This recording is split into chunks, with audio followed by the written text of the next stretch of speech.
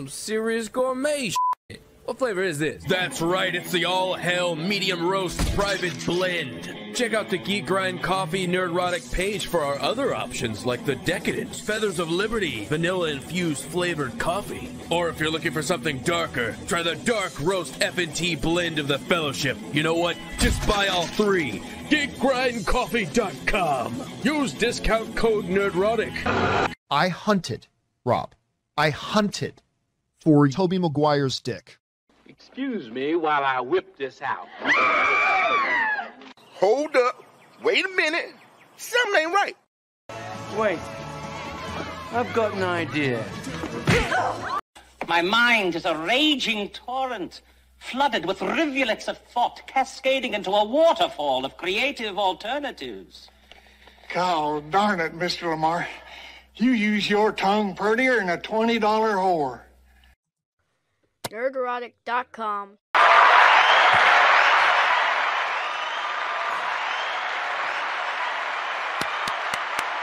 Oh, ah, double applause. Well played, X Ray Girl. Let's do it again. Welcome to the Nerdrotic Nooner because everybody needs a nooner once in a while. Every day is very helpful. I heard the ladies like that. That's what I heard. Word on the street. Word on the street. Hey, uh, holy crap. Has a lot of stuff happened just this morning. Are you guys like it, it like we need to go because oh my god. Um Gina Carano called out all of Hollywood hypocrisy in the form of Rachel Zegler who I think as far as thumbnails goes has now become the face of Hollywood over like Tom Hanks grimacing. um which is still a banger. It still works, you know, what 2 3 years later. Uh, I think uh, her weird, weird face is uh, the face of Hollywood at this point.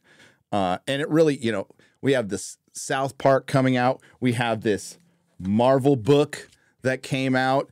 Uh, and we have a Variety article that has come out as I drop everything on my desk.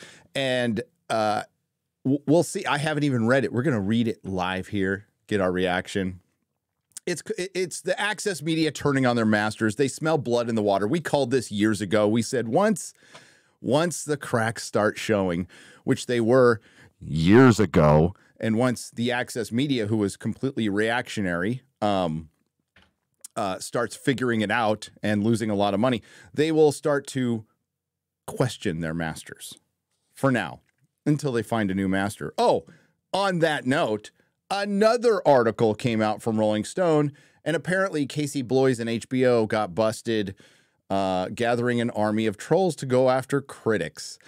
Um, in other news, water is wet. Uh, every studio does this. Uh, if you go and look at my Rings of Power, the making of a disaster video, I go in as much as I can into detail to what happened to that show. And I had heard from somebody pretty high up who used to work at Amazon that Jennifer Salke is the one who initiated that article through Variety, which is obvious. I mean, it's freaking obvious uh, it, to go after the fans. Uh, this also explains the Moses Ingram fan attack. It, there's a term for it that, that was made up by somebody in the media. It's called fan baiting. It's a real thing. So all this shit you see on Twitter is exactly what we thought it was. And guess what? That's what they were accusing us of. Like we were taking our extra money and time to make extra accounts or get bot farms or whatever to downvote Captain Marvel. Who's going to do that? I'm not going to do that. I don't give a shit. I don't care if the whole world loves it. It's a crappy movie. So, uh, yes, accuse your enemy of what you are doing. Uh, I would love to say in, in a in a certain aspect we are winning. We are winning, but it was after losing a lot. Like we lost a lot. So uh it's gonna be it's gonna be an interesting few days. It is. Hi, Chris Gore. Welcome to the show. Uh, hey, Gary. Uh, good to chat with you. I am in Halloween recovery. I, I was out last night uh, in my. I had a Flash Gordon costume that I'll break out every once in a while. That's a lot of fun. Um, I was walking around with a glow in the dark football and just hanging out at the 35er or the Dirty Diver. Um, and then uh, Pasadena was just crazy with kids and people dressed in costume. It was a lot of fun. But uh, on that bot, on that whole uh, bot farm thing, I think that's really interesting. That clip that they released of the Marvels, which you've gone over, I think you went over it on the real BBC and I well watched it. If you look at the comments under, it's crazy the positive ones like can't wait, love it. Then you look at that person, they have one follower or 12 followers. Additionally, their entire feed is just retweets of things and then they're like reply guys, right? So they're just replying to stuff. So when you really dig mm-hmm. into a lot of the, it was weird. This positive commentary had like things where, as has pointed this out too, where you'll see like a phrase and it's just repeated or reworded. And all this stuff is automated and it's bizarre. This is the stuff that Elon talked about stamping out, right? Getting rid of the bots. Let's have honest conversation. Uh, by the way, I'm I'm halfway through his interview, the new interview yesterday with Joe It's Rogan. fantastic. Unbelievable. It's Uh, so Elon good. Elon describes the mo- the woke mind virus. Uh, we'll we'll we'll we'll play it here later. Yeah, yeah, yeah. But anyways, so I just want to point out, like, look at the comments under these things and see. Now, I believe that what the the bots do, it influences NPCs to say, "Yeah, I'm going to jump in on this fight, and I'm going to choose this side." Right. So I do think it has an influence, so it works, or they wouldn't be spending money to do it. Um, because Twitter is weird. Like I did a thing once um when I did my campaign for Attack of the Doc. I hired a guy who knows how to break Twitter, and here's what he did. Oh. And th- no, I'll tell you what he did. So, and he's he told me all this stuff about how fucked up Twitter was, and they were always changing things, but he could find a way to get around the rules. So I DM'd 2,000 of my Twitter followers every day during my crowdfunding campaign for Attack of the Doc. This is in 2019. And this guy told me all this stuff about how bad the platform was, but that's technically there was a way to get around that rule, and he was able to do it. Uh, which was uh, so. Anyways, that's a little rabbit hole we don't need to go down.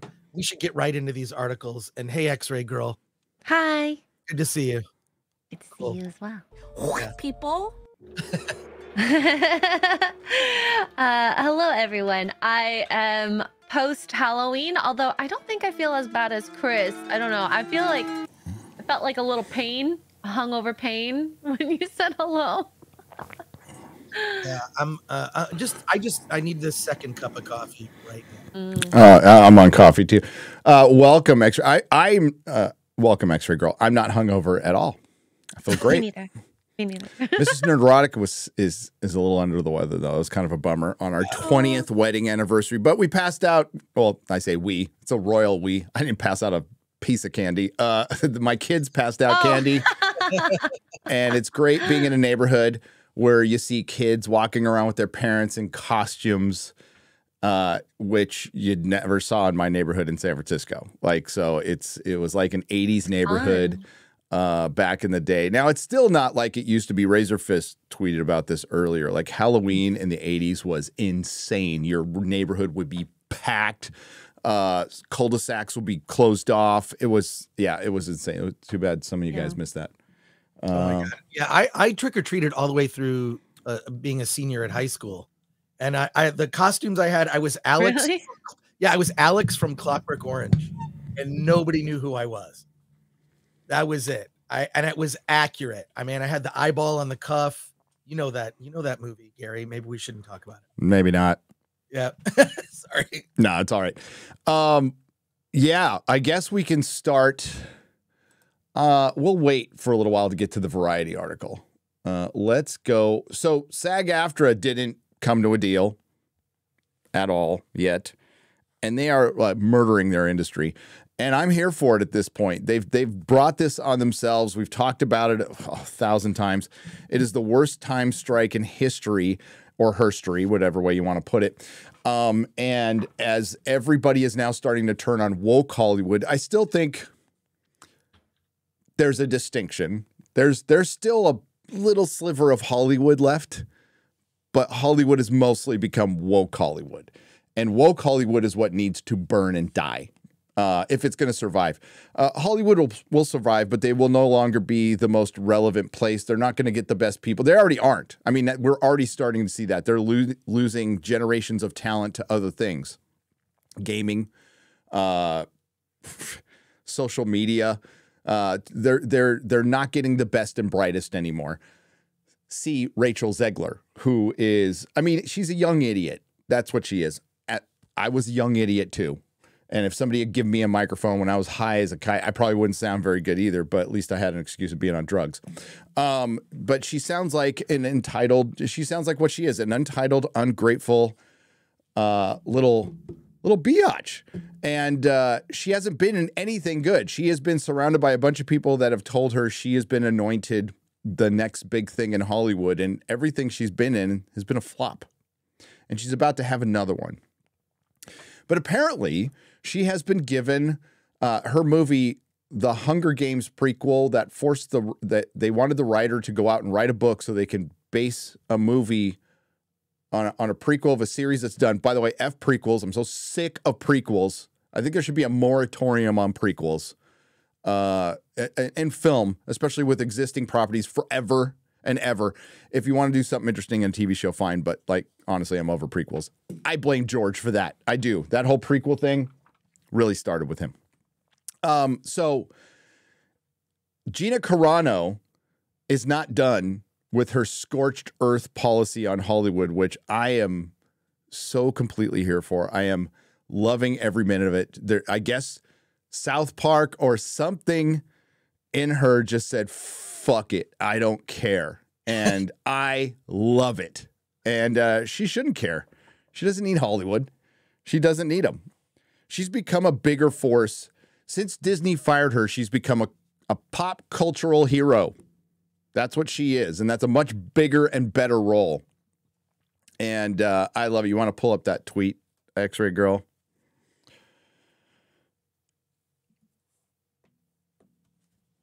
she she is on fire. The other thing that she pointed out, I forget which one of her tweets, she talks about how this is affecting other people in the industry. Um, uh, I have a friend, Alex, who works at uh, it's just a lighting rental house. He's laid off. He's like, he's looking for so all the below the line jobs, which are basic jobs on a film set, those people aren't on strike. They're out of work.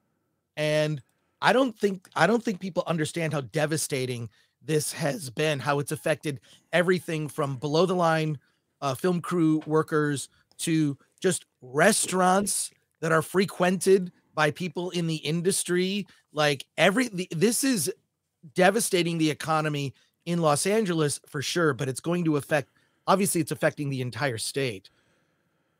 So yeah, and other you know like this industry does go into Chicago and New York, and it, and it affects it. And yes, some TV stuff is on different contracts, but uh, it is decimating what they call the below below the line workers. It's decimating them. They're going to see places closing down. We already know production is going to be halved overall. They're they're just going to have everything. Like that means fifty percent gone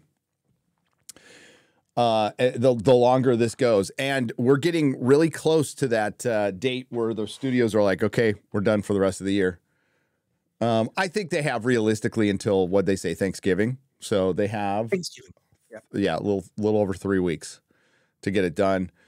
Uh, I don't know what they're far apart on, but I mean, just the longer you're out, then uh, that think about this. That's it's a three year agreement, and you just wasted almost a year of your agreement. Is gonna uh, all this shit's gonna get delayed. People are losing big movies now, and big actors tried to pay off their own union.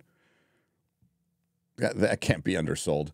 So Gina uh, points out that uh, the hypocrisy of the Hunger Games prequel getting a waiver from the Film Actors Guild.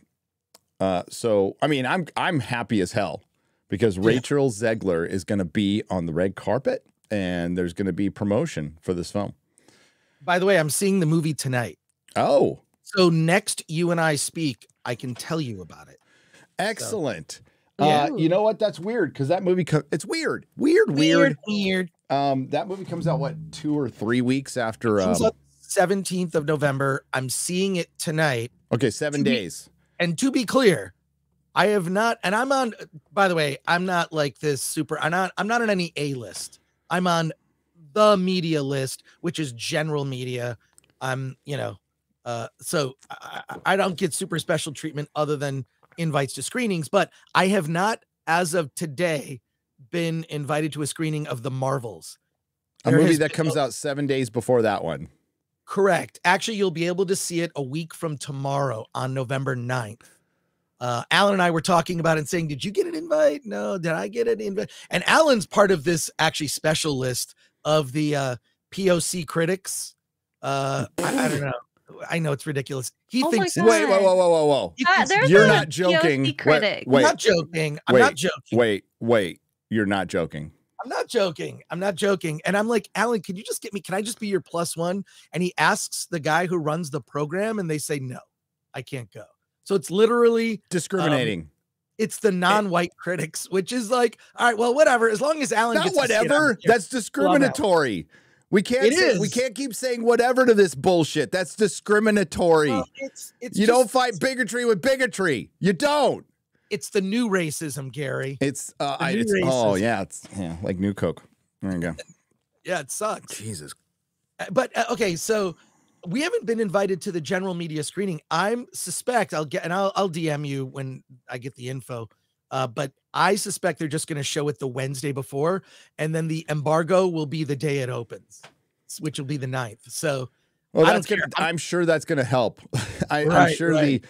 Well, you know what? They probably learned from Indiana Jones. To be honest with you, they released Indiana Jones in a month of just railing on that movie. They're like, okay, maybe we should just like.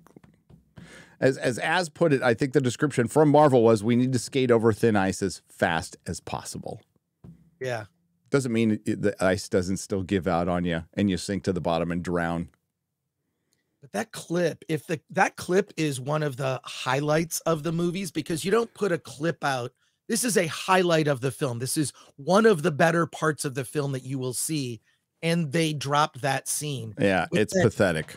Horrible music. It's that pathetic. music is just like, what is this again? Like, what is the tone of this? It's a good, it just looks like a Disney, like if you saw it on Disney Channel, you say, oh, that's a Disney Channel show. And you would dismiss it and whatever. But this is a Marvel movie now. I, I don't know, man. It, it's it's a marvel, and we'll get to that. Okay. First, Rachel. Uh, Gina Carano. Uh, this is from what is it yesterday or day before? I can't remember. what an odd. St- oh. What are you doing? What? She's messing with me. She scrolled. I'm like trying to start to read. Uh, what an odd strike this is. Small non studio productions are having trouble getting waivers, but studios get the interim agreements left and right. Celebrities go from picketing li- from the picketing line to their promotional tours and red carpet. What happened to that? I better get paid for every hour I stand in this dress talk. What yeah, what happened to all the talk of solidarity? Hmm.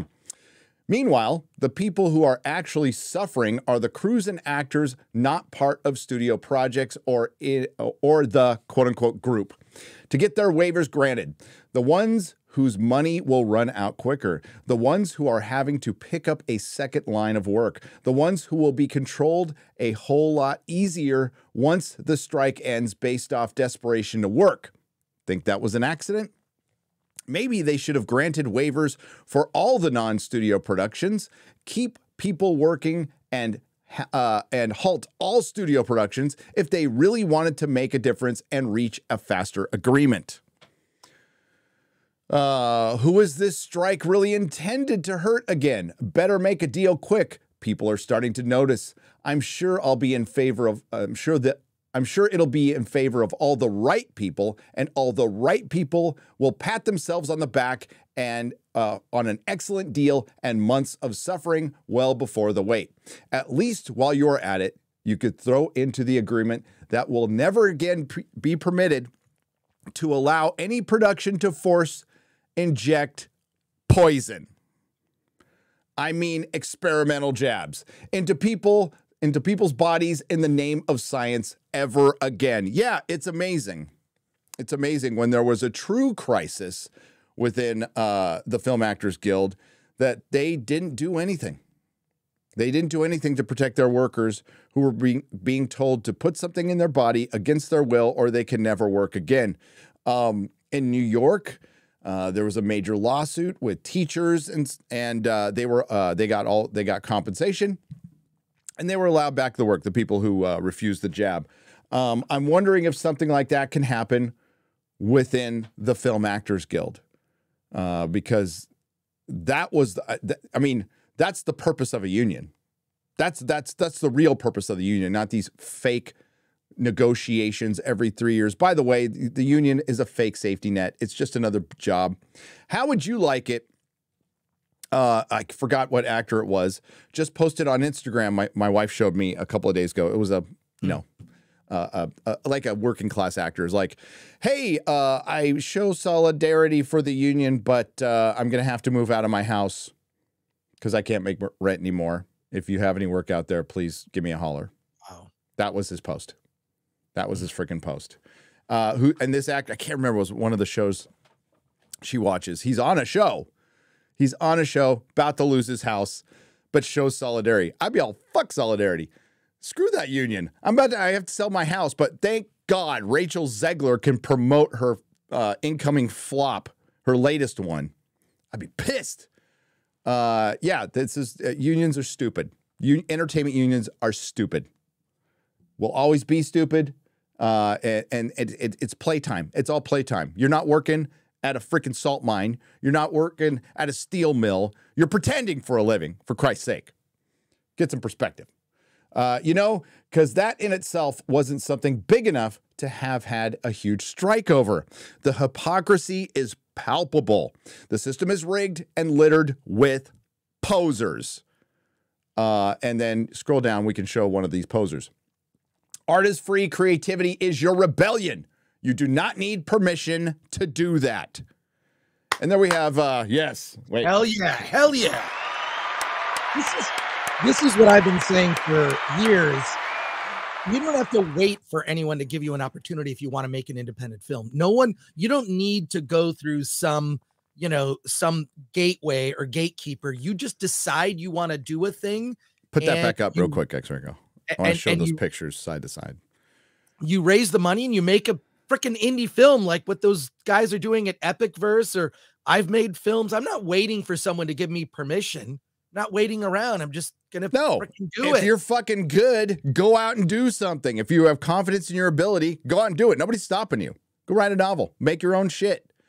Uh, no, you're you're you're not gonna have uh, Daddy Corporation uh, taking all the risk for you and then telling you what to do all the time, so you're free of any responsibility. You would have to be a true creative. You'd have to go out there and hustle yourself, get yourself out there. Uh, but if you believe in it, uh, no, you're not going to make, you know, you could potentially make more money than you would be working for these corporate masters because you'd be shocked at how little they actually get paid for shows. Uh, yeah, some were talking like 8,000 a week. Well, that's for an actor on a Star Trek show. Uh, I forgot her name, but that was um, uh, Raffi. Uh, God, I'm already blanking. Um, but uh, yeah, she was making like $8,000 a week. I'm like, for a Star, Raffi? yeah, so it plays a Star Trek show. That's a Star Trek show.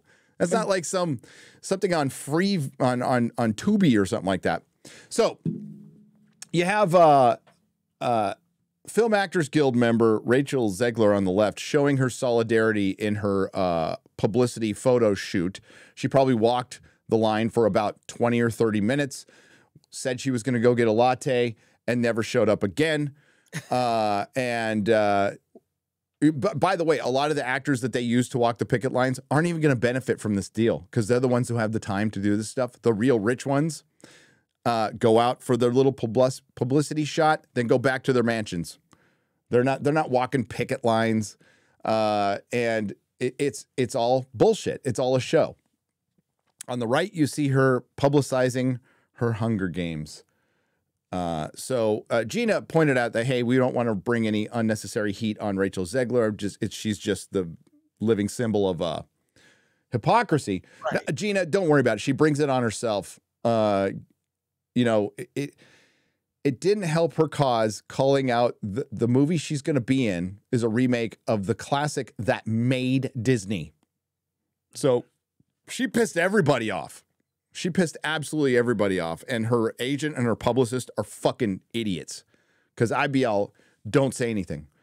Don't say anything. If you want to have a career in this town, just go out and go, I really loved Snow White as a child. I dressed as her as Halloween. This is the greatest opportunity. I'm living a dream. I get to pretend for a living and get paid for it. That's all you need to say. But no, it's such a tired story. Patriarchy. Meh, meh, meh. It's like, dude, nobody wants to hear what a little 20 empty-headed 22 year old thinks about Snow White. And uh, she has a giant empty head and a unibrow, but that's me. Uh, so yeah, Gina says uh, this is also not to encourage heaps of hate onto the young lady. I don't want that. Unfortunately for her, she is just she's uh, really great at shining a light on the hypocrisy that's happening. Gina, you're being too nice. Remember, and she knows this. Of course, Gina knows, but I'm saying this to the chat. This is the woman. Uh, Rachel Zegler is the woman who encouraged canceling Gina Carano over pronouns. So, um, karma's a bitch. Karma is a bitch, and it's real. It's real. So go, you go, Gina. You go, man. We'll have to see what else is going on. But Gina's been throwing uh, flames, Chris, and I love it. Uh, yeah, I mean it, it's her. Also, she's dead on with all this stuff. It's really look Hollywood's a club, and you have to be one of the cool people. I, I mean, I'm kind of shocked. I've actually done the things that I've done and gotten you know into. I mean, I never. I just did the sort of one audition for this TV show called The X Show. I went in and was kind of annoyed because at the time I was like a stay-at-home dad working on a book, whatever. And then every one job led to the next job, and and fine. So I did that, which led to G4 TV, which I think was the best gig in TV I ever had. It was also the least amount of money I ever made, but it was it was fun. But it's um, this is she's speaking truths about the industry that if you want to go far, you're gonna have to play a certain game, or at least pretend to. Um, and who's better at pretending than actors? Uh, nobody, especially if you're a good actor. So Rachel Zegler's not that good of an actor, obviously. she Uh, never stood out to me. Like even in like Shazam, I was like, wait, she's in Shazam? Like I didn't even notice her, you know, like her character is not particularly memorable. So I don't know, man. no. And she was in the remake of West Side Story, which flopped. Shazam flopped. Hunger Games, gonna flop. Snow White, gonna flop hard. Delayed till 2025. 2025. Because they want to get away from all the bad press. That's exactly why they did that. Uh, if this thing came out in March, it would just get destroyed. By the time 2025 comes out, it'll be a fart in the wind. Nobody will even care. Uh, this stuff is falling so hard, and Disney does not know what to do. They are they are in a crisis. They are burning. Uh, like and dude, we said this shit was gonna happen. Like you, this is unsustainable. You cannot do this crap forever. You know it. Uh, they said it best in South Park. We keep making the same movie and o- over and over again, and it's not working anymore. it's weird. Oh my god, I love it. I absolutely love to see it. I I, I have no sympathy for uh, Disney, Marvel, Lucasfilm, any of them. They've treated the fans like absolute shit, and they get what they deserve. You cannot disrespect any portion of your paying cus- customer when you're a company. Any portion. Uh, I, I've said for the longest time, Access Media was definitely part of this, but I said, like, you don't have to listen to us. Just don't listen to them. Don't listen to the people on Twitter. Uh, you, you know, you pay these companies for marketing research. What are you getting back? Because you're getting better advice from YouTubers and people in their chat. And I'm sure you're paying thousands, tens of tens of thousands for these marketing third-party marketing companies who are doing shit for you other than going after critics on Twitter. I guess we can bring that up. We can bring up the Rolling Stone article. Nice. I don't know if it requires a subscription or not. Let me know. I know you get like a certain Uh, amount of free views. I don't have the Rolling Stone article. It's in the. It's Wait, in, I put it in. go. there. Never mind. I take take it back. it was just under the screen. There we go. All right. That's uh scroll down here. HBO bosses accused uh used secret fake accounts to troll TV critics. Shocking news, ladies and gentlemen. Uh Casey Bloys uh ordered by the way, HBO is like the one streaming service that that runs competently. That's but the Access Media feels it's safe to go after Warner Brothers because they don't like David Zaslav. They certainly know that Disney does this. I know that Amazon does this. By the way, Gina Carano just basically spilled the beans on Disney doing this as well. And I know the decisions come from the top. So, so it's interesting. This is coming out. Uh, I think they even go after like Vulture. Who gives a shit about Vulture and Perry Mason? Uh, of course, Rolling Stone or none of the articles would admit that there were third party companies going after, I don't know, Critical Drinker. Uh, Casey Bloys ordered staffers to create fake accounts to fire back at critics, according to the text conversations reviewed by Rolling Stone as a part of a new lawsuit. Uh, in June 2020, Casey Bloys, HBO, then president of original programming, needed someone to go on a mission. Bloys, who was named an HBO CEO and chairman in October 2022, was irked by a tweet from Vulture TV critic Catherine Vander Anderdock or Dock or Rock or whatever her last name is, uh, who had some thoughts about Perry Mason, HBO series starring Matthew Rhys as a private detective turned defense attorney in 1930s LA. The remake of the original 1960s show carves out an origin story for Perry Mason, showing flashes of him uh, serving in World War One, World War One, where the uh, I'm not going to say her last name uh, felt was weak storytelling. Okay, so what? Like, I did you watch Perry Mason? I didn't even watch Perry Mason. No. I watched the old Perry Mason all the time. Uh, Bloys was annoyed, according to text messages reviewed by Rolling Stone, and sent uh, Van der Arendock or Gawker Gawker tweet uh, to Kathleen McCaffrey, HBO's senior vice president of drama programming, maybe a Twitter user, should tweet that that's a pretty blithe response to what soldiers legitimately go through on the battlefield. Do you uh, have a secret handle? Couldn't we say, especially giving that it's D Day, to dismiss the soldiers' experience like this seems uh, pretty disrespectful? This must be answered. So, who cares what they said about Perry Mason? Uh, the bigger story is, uh, and Jeremy mentioned this on Daily. I was listening in the gym this morning.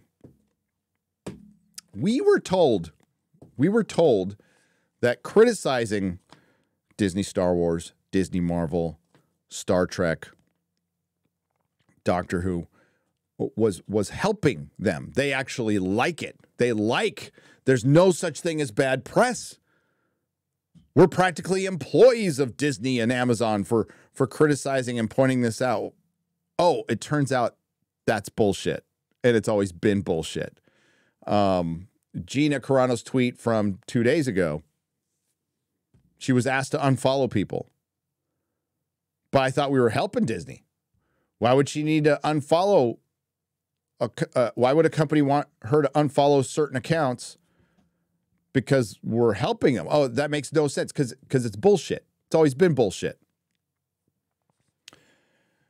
So uh, I think it's pretty rich, and uh, as I said, this this isn't the only time we've heard this.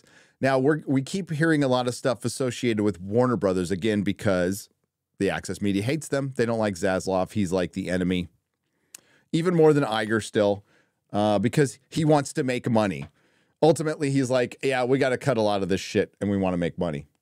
Not that you know Warner Brothers can be woke. They can all be woke. Uh, the exchange was on the last six. Inst- uh, the exchange was one of at least six instances between June 2020 and April 2021 in which Bloys and McCaffrey discussed using what they call a secret army to fire back at several TV critics on Twitter. So, as Chris talked about earlier, isn't it strange that below certain Disney Marvel tweets and Disney Star Wars tweets in particular, mm-hmm. because I'm critical of a lot of things. I'm critical of the Rings of Power, critical of a lot of stuff, but it's really only with Disney Star Wars and Disney Marvel, you get the rando anime avatar that will respond to you and they'll get like 2,000 likes. And then you go to look at the actual interaction, there's no comments, and the likes are a lot of accounts that look like that account. It's strange. I'm not saying all of them are bots. I'm sure they are people. I'm sure there's a there's a lot of people out there who will just, as you said, it it kind of fills the NPC mind.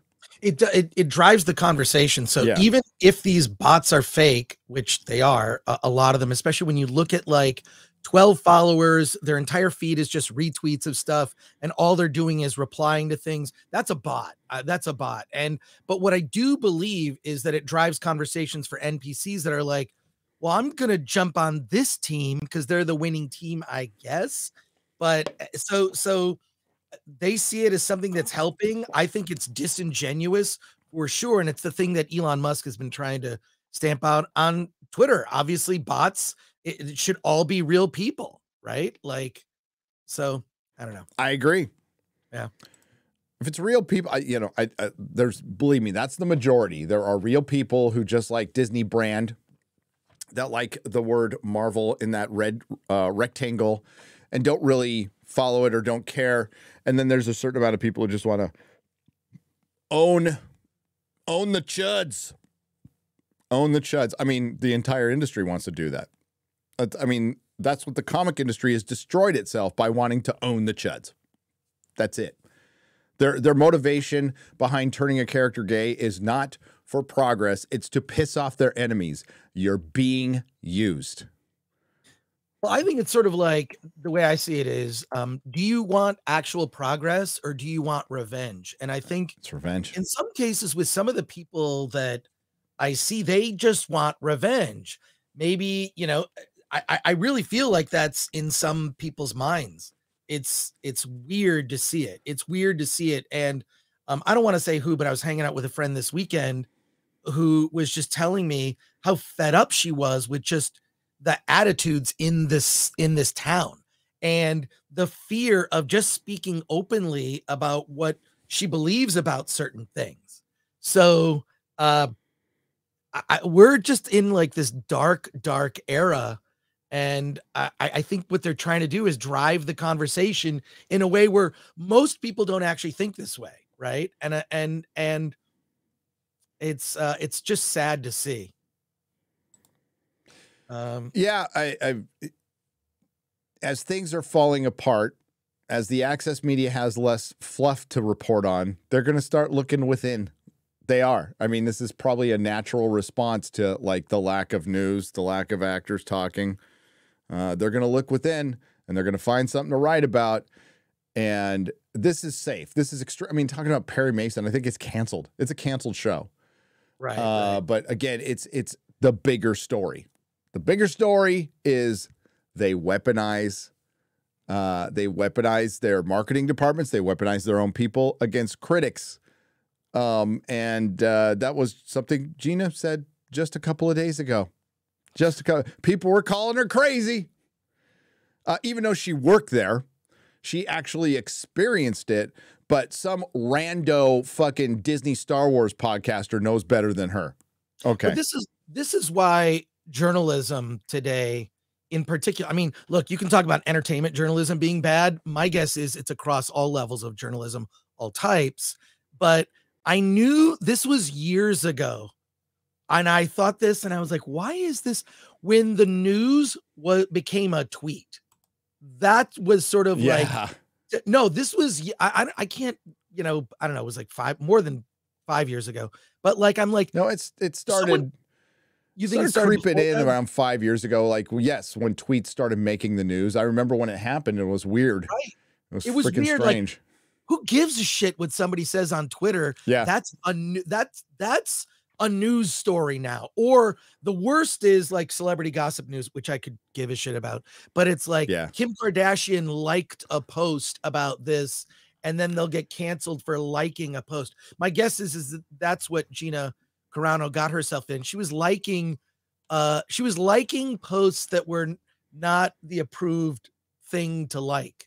Is that you know what I mean? she was liking Geeks and Gamers posts. She was liking Ryan Right. Kinnell's post. She was liking my posts. She like yes. well, to be fair, Brie Larson also liked some Ryan. Kinnell Yeah, posts, I'd like to point that lovers. out. We got to point that out that Brie Larson liked a, a Ryan Kinnell post, and he will never Mhm. ever stop talking about it. I love it. I think it's hilarious. Um, and uh, now he's a simp. It's okay. I understand. Yeah. Um, it happens. It happens. I mean, the feet uh, will get you every time, I guess. Oh Actually, no, don't- not that feet. No. Don't look at the feet. Don't look at the feet. So, yeah, there you go. Very lost in thought. No, I was just waiting for you guys to finish talking about Brie Sorry about Larson's that. feet. Sorry, sorry. Moving on. Moving on. but but yeah, we can move on from this. This is just gonna you know talk about Casey Bloys, who I actually don't like hate. I think he's done some good stuff at HBO. Uh, I mean, but if you're if you're weaponizing people against critics, maybe that that stems from the Game of Thrones criticism. I'm sure they didn't like that. Uh, but uh, dude, everybody that's part of the job. You're gonna get criticized. This is this is the modern world. A bunch of freaking olds, and that's the problem. There's a bunch of olds still running Hollywood. Kathleen Kennedy isn't old. She's a, she's a, she should be a grandma, writing twelve dollar checks to her grandchildren, and she's running one of the most uh, formerly the the most valuable IP on the planet. And uh, she ran it into the ground, and she's out of touch. She's completely out of touch. God, I was watching. I'll talk about that later. Uh oh. Well, they they some Doctor Who specials came out. Some Doctor Who specials came out. Really? Yeah, it was just like some little sit down. Um, They're like in interview conversational things, not like an actual yeah, no, no, it's it's filmed on the set of a TARDIS, and it's supposed to be like a memory center. And you have the fifth Doctor, and the sixth Doctor, and the seventh Doctor. And uh, the, I watched one where the fifth Doctor uh, is talking to Tegan. And they're basically what they do is that they reflect on an episode. So you watch the old episodes. Kind of a good idea, but he's talking to Tegan, and and uh, he's all, "Tell me about your life. You know, tell me about the normal stuff." She's like, "Well, uh, I decided to follow uh, your path and work to fight climate change." She's like, "Fight for the environment," and I'm like, "Oh fucking fuck, Mm. God." It's so cringe. So it's just propaganda. you- so, you- so you went all over uh, the universe with the doctor, and you want to fight for the environment. It's just such a yeah, God. I hate the BBC. I really fucking And on do. one planet too. That makes yeah. You know, being with the doctor, he would probably have a little more. He would probably go, well, just 12,000 years ago, it was like 18 degrees colder on average on the planet. And then uh, after the Younger Dryas, where it varied uh, 15 to 20 degrees Fahrenheit uh, over a thousand year period, which was a thousand years of hell, it kind of leveled out. It was actually warmer uh, eight to 9,000 years ago. Uh, and also in the medieval times, it was a little warmer than it is now, and everybody flourished uh, because warmer weather is better. And it's far warm. It was far warmer back then than they're worried about it becoming now. But they don't talk about that. But maybe the warm period was caused by all the cars in the medieval times, all the cars and overpopulation. Maybe. Wa- oh, Watch Randall Carlson's stuff on that. It's pretty fascinating. But I just like as soon as I heard that, I'm like, God damn! Can't you just talk about Doctor Who? Can't you just like reflect on Doctor Who? It's like we're gonna fight for the environment. It's like fuck. Uh, yeah. The, all the specials have been announced. So the anniversary special is two days after the anniversary, which is dumb. It's going to air here on Thanksgiving Day, uh, which is still dumb. It's still they wanted to air on Saturday. I get it, but like just air it on the anniversary. The, at least the anniversary one and the following ones could be on Saturday. So they're doing three specials: one on Thanksgiving, one on the first of December, one on the 9th. Um, there all this extra stuff. You have to be in the UK to watch. You can't watch it here. It's not on. And God, just to make it even worse, it's on Disney Plus. Freaking Oh, specials really? are. So what I am gonna do is I'm gonna march on over to my VPN and watch it on uh, the BBC iPlayer like I've done in the past. Because the funniest thing about the BBC iPlayer is when you sign up, when you sign up, they go, "Do you have a license?" And I went, "Yes." And I was waiting to provide something, and I didn't need to provide anything. It just said, "Okay." I was like, "What?" Oh God, love the British. Love the British. Uh, and then you know, right before Doctor Who airs, at least uh, the bad Doctor Who on Sunday, it would be Countryfile leading on, which I I used to like that show, and uh, now it's just all climate change. All right, Doctor Who rant over. We'll we'll be talking more about Doctor Who once the we get closer to the special, and yes, we're going to do our top five on the real BBC before the 60th. Before the 60th. Uh, I'm going to read a couple soups and then we're going to go to that variety article. I think everybody's here. I can't wait, man. I can't wait for this variety article. Yeah, well, it's gonna okay. I haven't read a word of it. I read the headline. Uh, it it came across my desk. I don't I don't really have a desk. All right, so what I have here, this is it's a it's a card table. It's a it's an old '80s card table. It's round, right? It's even got the green thing on it. Uh, and it, it's I wanted to because I had this table that took up my entire room, and I want I, I just want a table that doesn't take up my entire room so I can walk around it. So yes, I don't have a desk.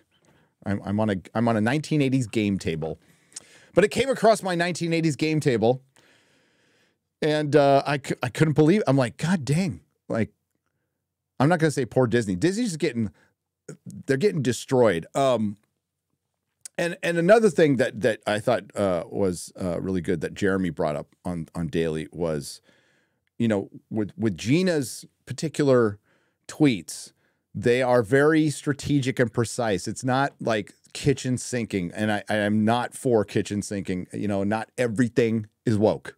Not everything is woke. Not everything is intersectional. Some shit is just bad. Some stuff is good that might be perceived as woke. It's picking your shots, choosing your battles, uh, because this is a battle. To deny it's a battle, I mean, that's ridiculous at this point. There is a major culture war going on, uh, and it's it's a cultural revolution that has been happening that has turned into a war that Razorfist said so correctly. Uh, but you need to be smart about it. I I'll use my statements. I need to be smart about it. I'm not going to pick on everything because I, I don't think that does any good. I, I think it you you but this is the this is the universe unfolding as it should. That book coming out, South Park, Gina Carano, this article, all the stuff we said was going to happen is now happening. Where does it end? Uh, I would I would argue it already has. It, it already has. Just Hollywood will take a year to figure it out, maybe two. Um, is it going to go away forever? No, hell no. Will there always be these problems? Will there always be idiots like Rachel Zegler? Yes, that's part of the world. Uh, but you know, if Hollywood wants to survive, because we'll move on, we'll be fine. Hollywood burns down tomorrow. You know, I'm sad for Chris. Uh, I, I I'll- I'll get you out of that fire. But uh, oh well, I'll talk about old shit and game. I don't care. I really don't care at this point. Uh, you know, I want it to survive. I, I think it can survive. It'll never be what it was, but it needs to find balance, man. Um, the the hypocrisy is, you know, Jonathan Majors is in a lot of trouble, and this will lead to the article. He's in a lot of trouble, but I don't want him fired. I don't think the man should be fired till he have his day in court and it's proved in the court of fucking law, right? Uh, I hated Pedro Pascal's statements, uh, but I wouldn't want him fired.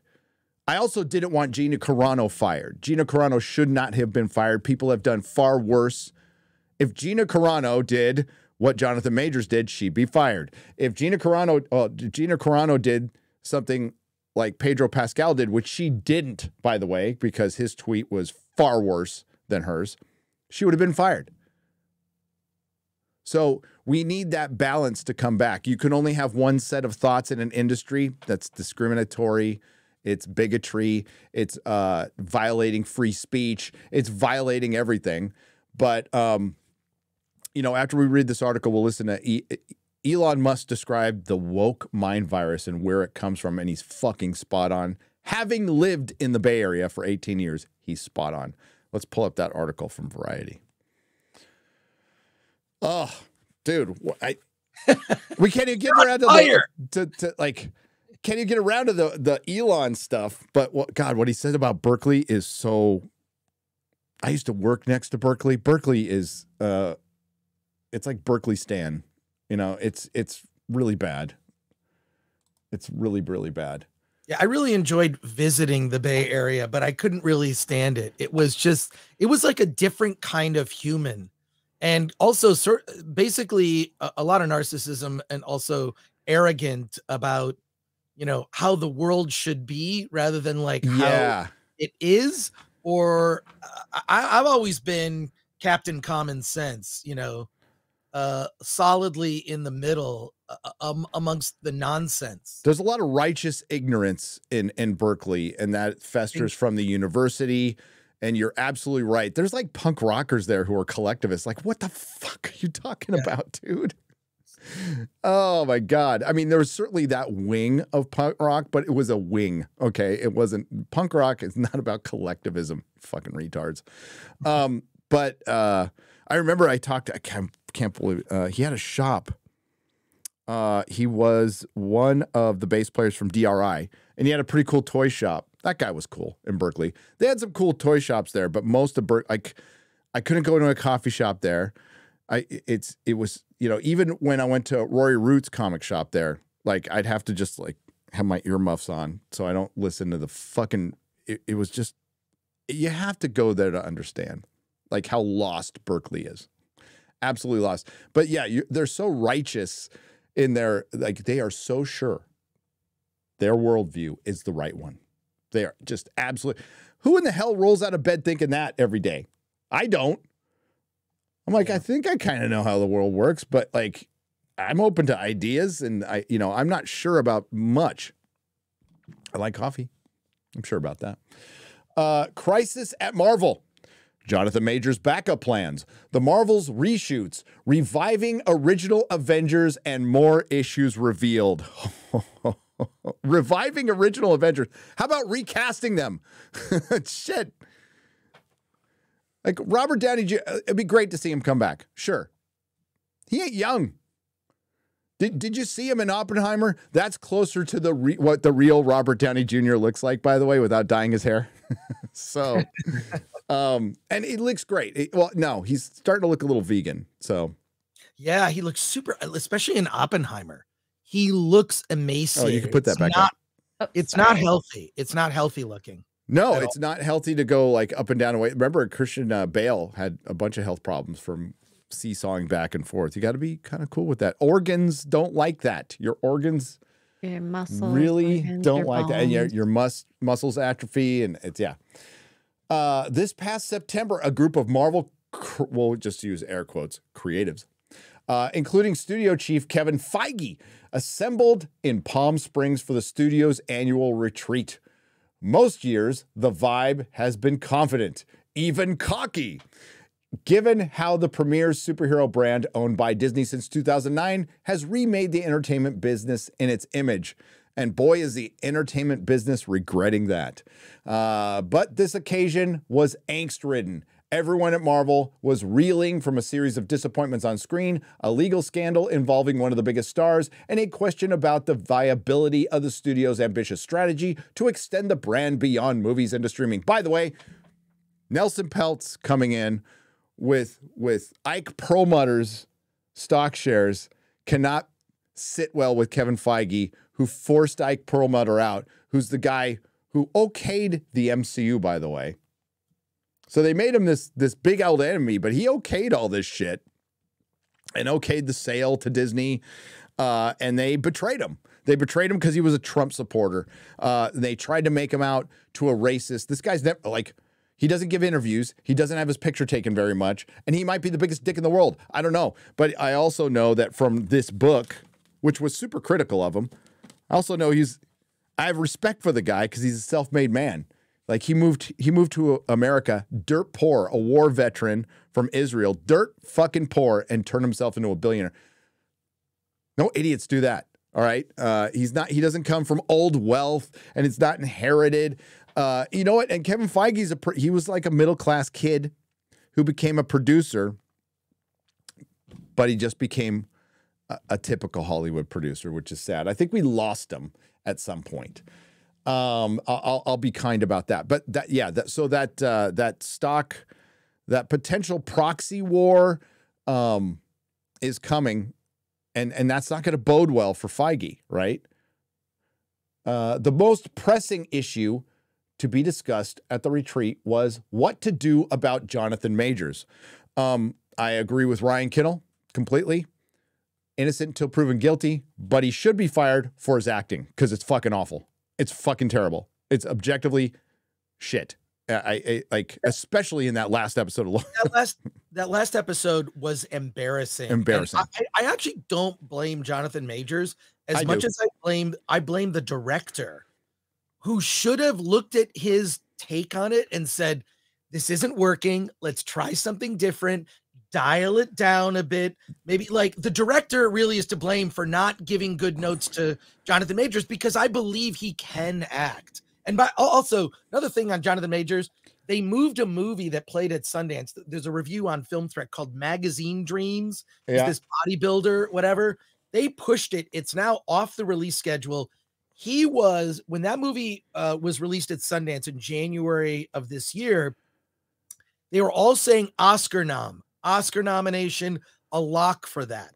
And and I heard that from people. I did not see the film, but other people who work with me at Film Threat did see it and they said it's it's an amazing film. Off the schedule, done. That movie may never get released based on the based on the outcome of this case. Well, uh, here's the pro- here's why here's why you can blame the director, but dude, ultimately he does the acting and it, and it's True. and he has he has no range, right? So he can be Jonathan Majors like playing like a stoic and evil king in Ant Man's probably his best role because his he who remains at the end of Loki was terrible, and and Victor Timely is fucking terrible. I mean, like I yeah. am cringing through his acting, and I feel bad for him. To blame the director, blame the system. A director can't go to a black man and go try that again. They now they probably still could, but they feel like they can't, depending on the director. Say it's a white director. Uh, the the way the environment is in Hollywood, they can't do that shit anymore. They're afraid they're going to get canceled. This is the problem with all this DEI shit. You have artists afraid to being uh, afraid to be artists, you know, and uh, and and that's also the Me Too Times Up stuff. It's not all that. It, it's also so you have these rules and sensitivity and all this shit, and you can't just go like cut. That was shit. You need to do that again. That that needs to come back to Hollywood. That does. You know, being a dick is not against the law. It shouldn't be against uh, any HR rules. And, you know, sometimes you have to be a dick when you have millions of dollars on the line and you've got a schedule and you're trying to get this done. And it's part of the creative process. Uh, imagine there being an HR department in rock and roll in the 70s. it's like fucking what? Oh my god! I was just having I was having a conversation with a friend. I actually put it in the private chat with this, and I also put something else in the private chat, uh, like uh, that just dropped. I don't know if it's worth looking at it all. But, anyways, we were talking about how there's been all the Me Too stuff. What no, where's the Me Too in music? Right? This Priscilla movie is supposed to come out, directed by uh, Sofia Coppola. Um, I've heard very mixed about it, but it basically goes after it's it's intended to make Elvis look very bad. But look look at musicians throughout history, right? Like, and I kind of feel like why hasn't there been a Me Too movement in rock and roll or the music industry? Hasn't happened, but I guarantee there are many cases. There's horrible I mean, stories, horrible stories. Yes. They sang songs about it. Kiss sang a song, Christine, 16. I mean, come on. I mean, uh, yeah, like I mean, there and there's, I mean, there's didn't David Bowie and some girlfriend have a relationship with a girl who was at the time 13? Like this is all this is like documented stuff. This isn't, but there's been no canceling of those of, of anyone in music that I've seen other than they've gone after Michael Jackson. Separate conversation, separate thing. Don't want to go down that rabbit hole, but I'm just saying um, this happens in it happened in the entertainment industry for a reason, and it was a power grab. That's all it was about. Looking back, you can see it. I didn't know we really couldn't see it at the time, but it was all about a power grab. It was, it was all a grab. huge power grab. Uh, And uh, I mean, most obvious is Jar Jar Abrams' wife heading up Me Two Times Up as a is basically it was a it was a charitable organization that was a corporation. That was a freaking corporation, and they all quietly left after Asia Argento and others were caught being complete liars, fucking liars. And uh, but what did happen is I'm always forget his name. The guy who was running WB Studios, it was another Asian guy before Walter Hamada. Slept with an actress. So for Jar Jar to go over there for their deal, they had to get rid of him, and that was Jar Jar's wife's edict that came down, and they did it. Um, Roy Price, guy who started Amazon Prime, fired for a dick joke at a party. Right. How dumb. Fired for a fucking dick joke at a party. Uh, you know, it's it's it, and never allowed to come back. By the way, no apologies or anything. No court, no charges, nothing. I mean, that's that's it ruined lives. Yes, there was legitimate stuff. Harvey Weinstein was a piece of shit. Everybody knew that, and oh yeah, everybody protected him until until it was until they didn't need him anymore, or they they wanted to preserve their own ca- careers. Uh, but and and yes, that, guess what? That stuff is still going on in Hollywood. Do you think you solved that problem? It's just you know it's quieter now. It's much quieter now. But uh, yeah, the, the hypocrisy is everywhere. But it doesn't mean you like. It, was just a push for power. Uh, yeah, Roy Price was in charge of Amazon. had had it going in the right direction. They jettisoned him. Jennifer Salke comes in, uh, and she's an idiot. She's a bona fide idiot. Oh, and she also went after fans. She also was the one who gave the word to go to pre a preemptive attack for fans on her shitty show because they knew it was shitty. They knew it was shitty. Uh back to Marvel. But this occasion was uh, I read that part. Uh, the actor who had been poised to carry the next phase of the Marvel Cinematic Universe, but instead is headed to a high profile trial in New York later this month on domestic violence charges. Um, the actor insists he is the victim, but the damage to his uh, reputation and the chance he could lose the case has forced Marvel to reconsider its plans to center the next phase of its interlocking slate of sequels, spin offs, and series around Majors' villainous character, Kang the Conqueror. So, do you think the Kang Dynasty is going to get canceled? Because I think there's a very good chance that It that might get kangstalled. it might Um, get Kang. Oh, Sorry, Gary. No, it's okay. We're dads. But it, That's what we but do. it's exactly. But it, yeah, I I just think he's going to be recast. It's not as if there's not another actor out there that they could fulfill that role. It's going to make the phase look really weird, like build up with him and then recast. Uh, just just have Kang start like start just a back shot of Kang, right? And he's Right. opening up all his portals, and then the high evolutionary comes in and just slits his throat and takes over. I mean, that like, I thought that or- actually, high evolutionary was great. or you take this opportunity of of Loki. uh, He, I thought he was really good too. Better actor, better presence, better motivation. I mean, like Space Mengele. You know, it's like that's that's that's that's a good villain. That's a good villain. Um, so I would take this opportunity of the last uh, uh, Loki episode of everything blowing up and just not release the next two uh, Loki episodes and say everything just blew up and start over. That's it. Everything just blew up. Um, Thanos was right. Uh, Thanos was right. Uh, reversing the snap was a bad idea. Uh, and uh, yeah.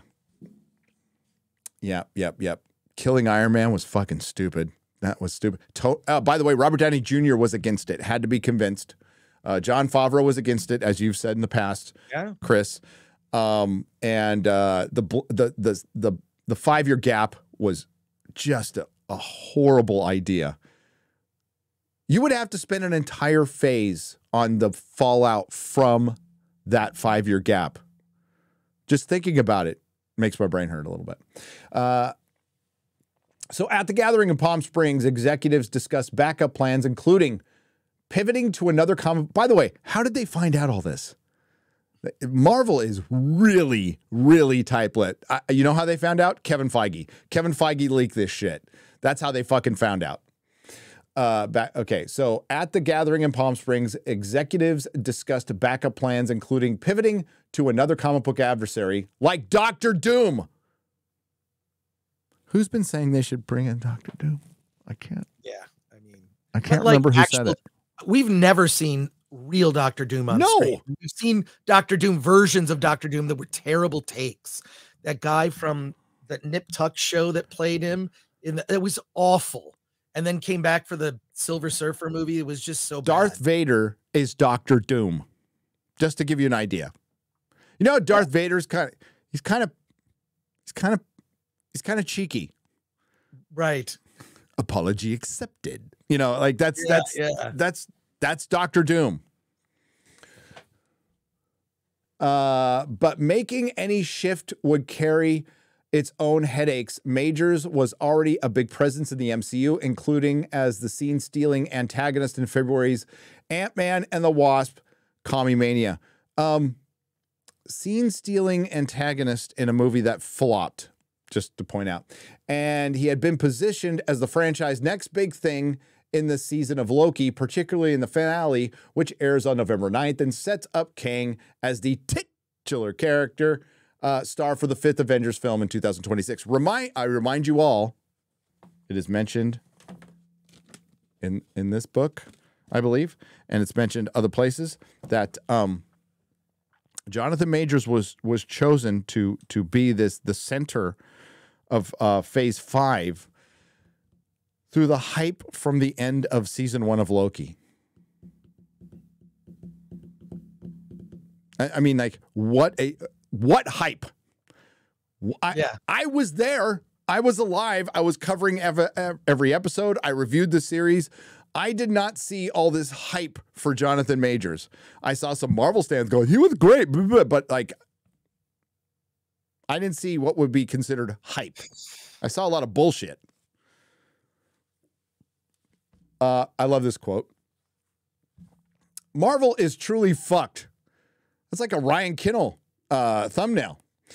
Uh, we are fucked. we are fucked. We are Uh, fucked. With the whole K thing, said Kang thing, says one top deal maker who has seen the fina- the final Loki episode, and they hadn't had an opportunity to rewrite it until very recently because of the WGA strike. But I don't see a path to how they move forward with him. Marvel is truly fucked. Wow. That's in a fucking variety article. That's in a variety article. Oh my God. God, our detractors must be so upset right now. Look at these bigots in variety. Look at these alt writers in vari- variety. Uh, by the way, I put a, a link in the uh, private chat from Deadline. It's just updates on the case. The main thing is he faces a year in prison. This is not a small thing, and there have been other um, other incidents. Uh, Uh oh. there have been other incidents. The, the the the article I sent is just sort of up. It's an updated like the latest on. It's not that much news. It's not worth bringing up. Yeah, yeah. I, I'm just giving it for context for you to look at later. But um, I don't think e- with all of this, it's so innocent or not. If they're moving forward, I don't know, but like th- we have seen other cases where they move forward where it's kind of like this person's probably innocent. Like where they're gonna. I mean, um, but yeah, this is um. Well, what do they do? Do they wait for the trial? Do they wait for the trial? I mean, they should, but they have schedules to keep. Um, you recast him and he's innocent.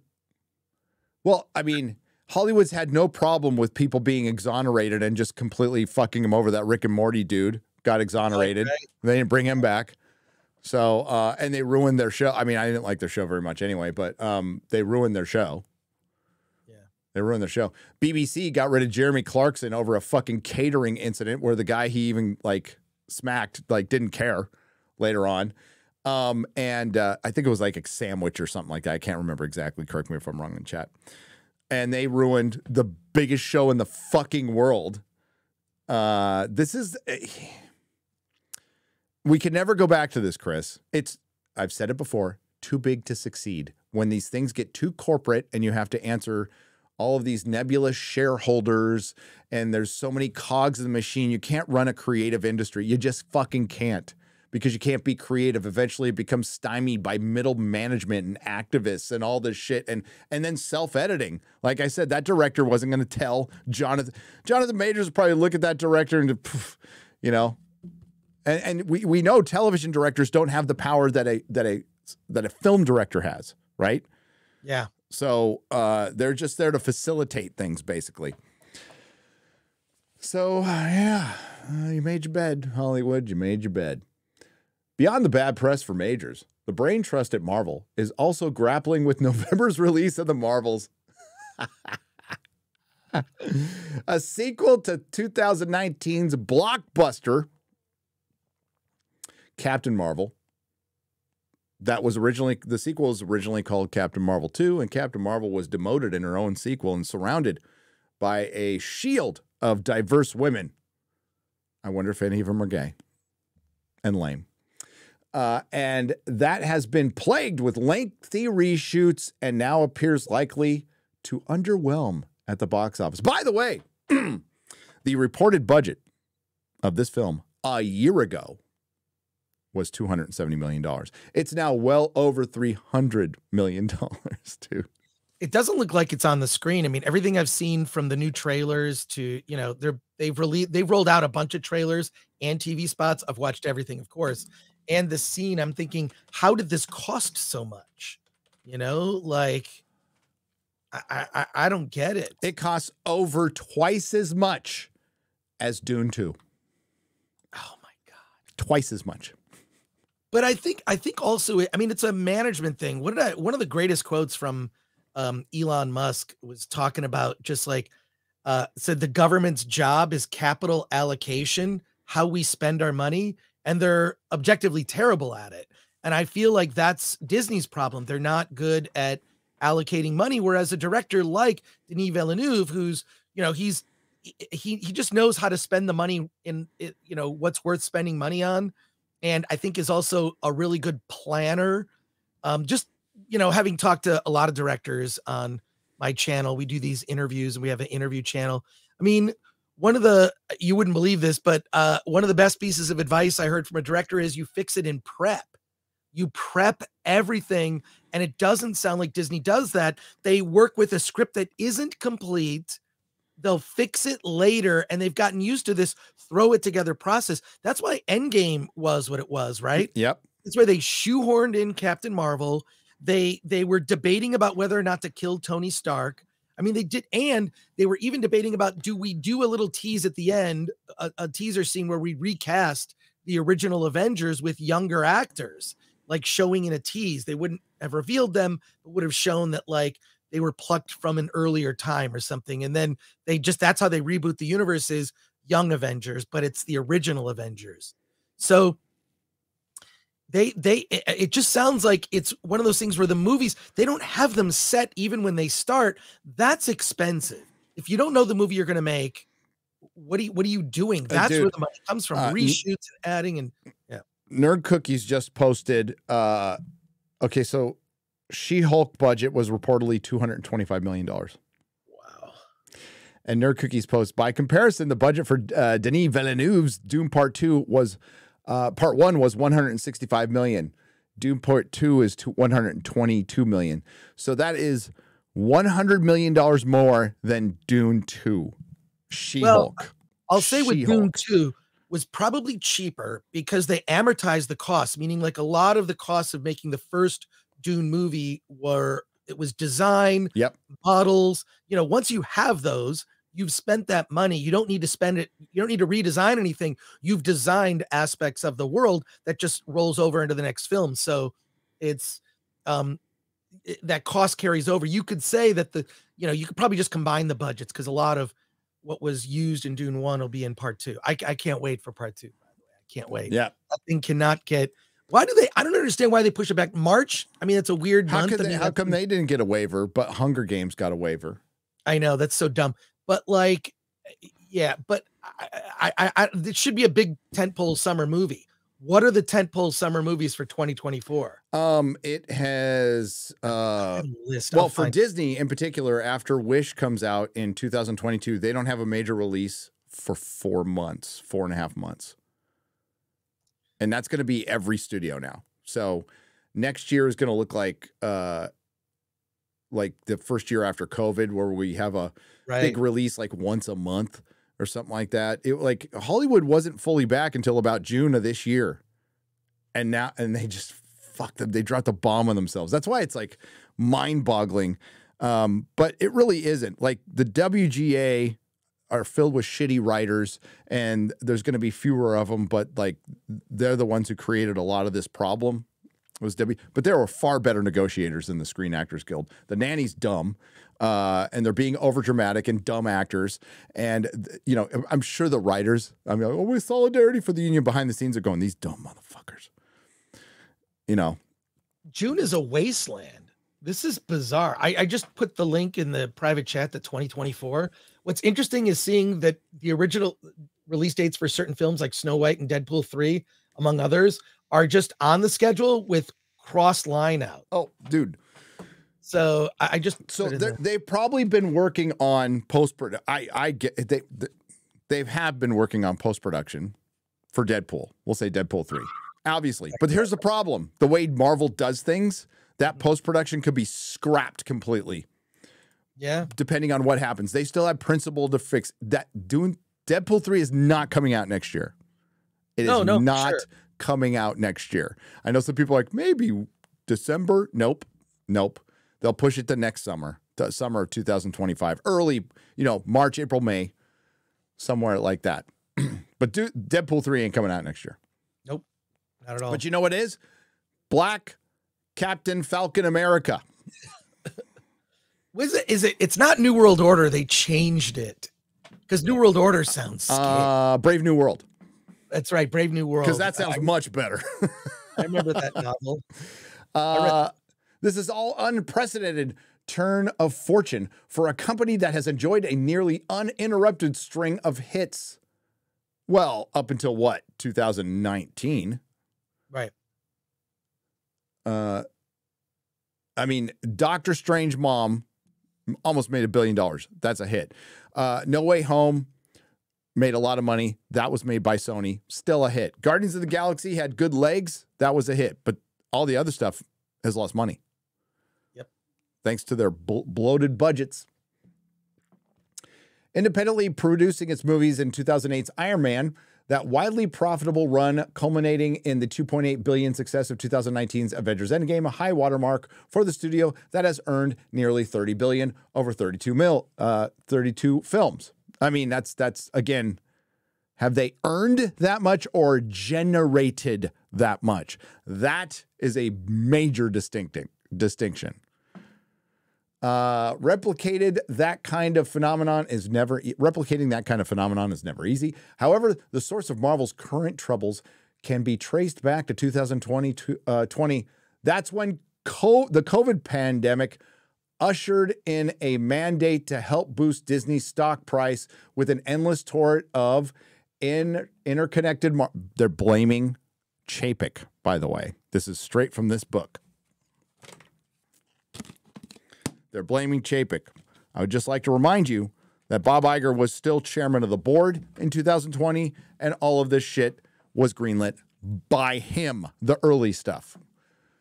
Uh, not Chapek was an idiot too. Don't get me wrong.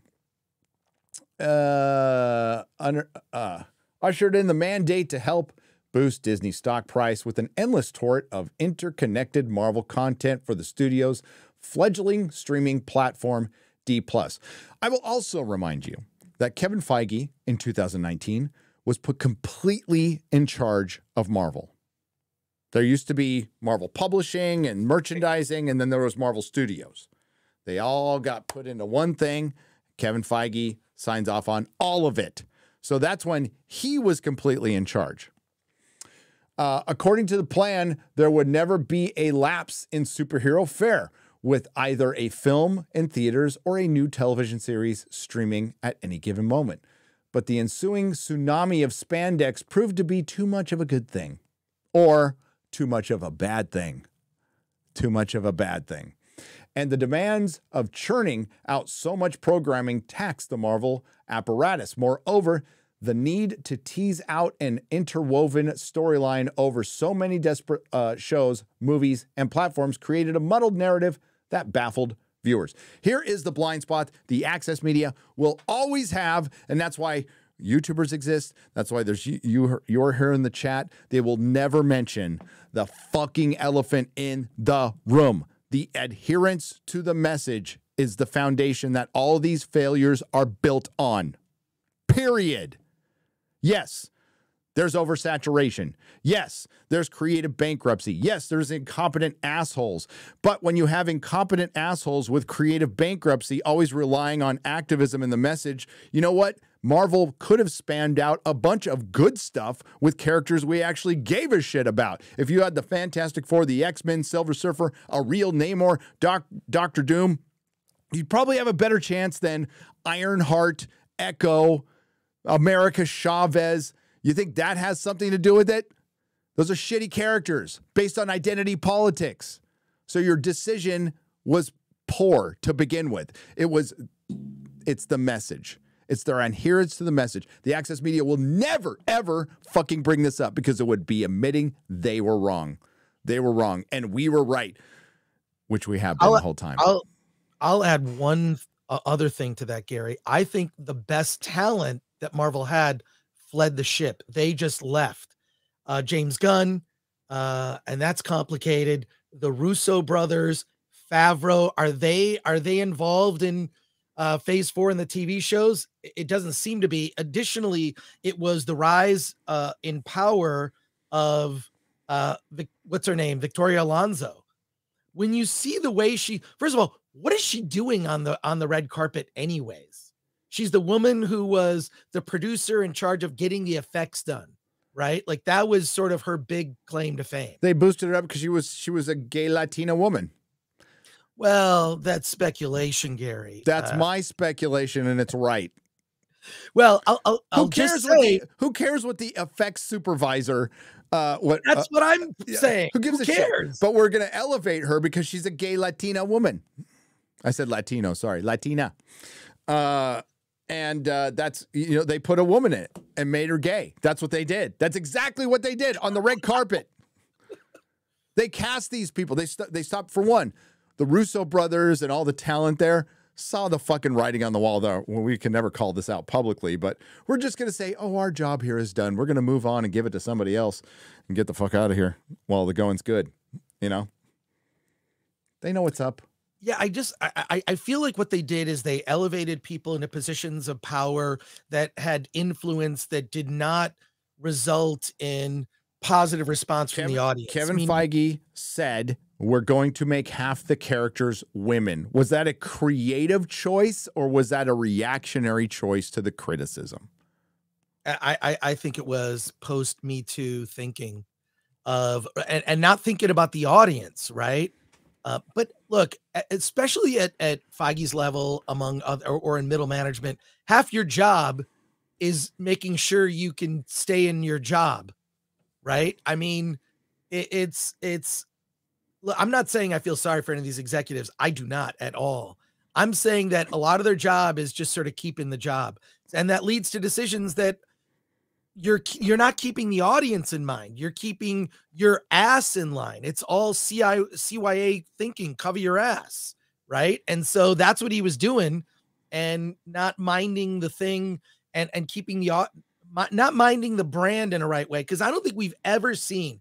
I cannot think of any case where a brand was so beloved and fell so quickly. I cannot think of one like where the brand is it's this incredible machine building up to this never to be repeated moment in 2019 with Endgame uh, of, of normies and longtime fans and whatever, all in a theater together. Whatever you thought of Endgame, and you know, look, there's a bunch of things I don't like about it, but the but to get to that point and and have that it was it was it was history and then to have the brand fall so quickly. We've never seen it. And we're looking at the Marvels coming out.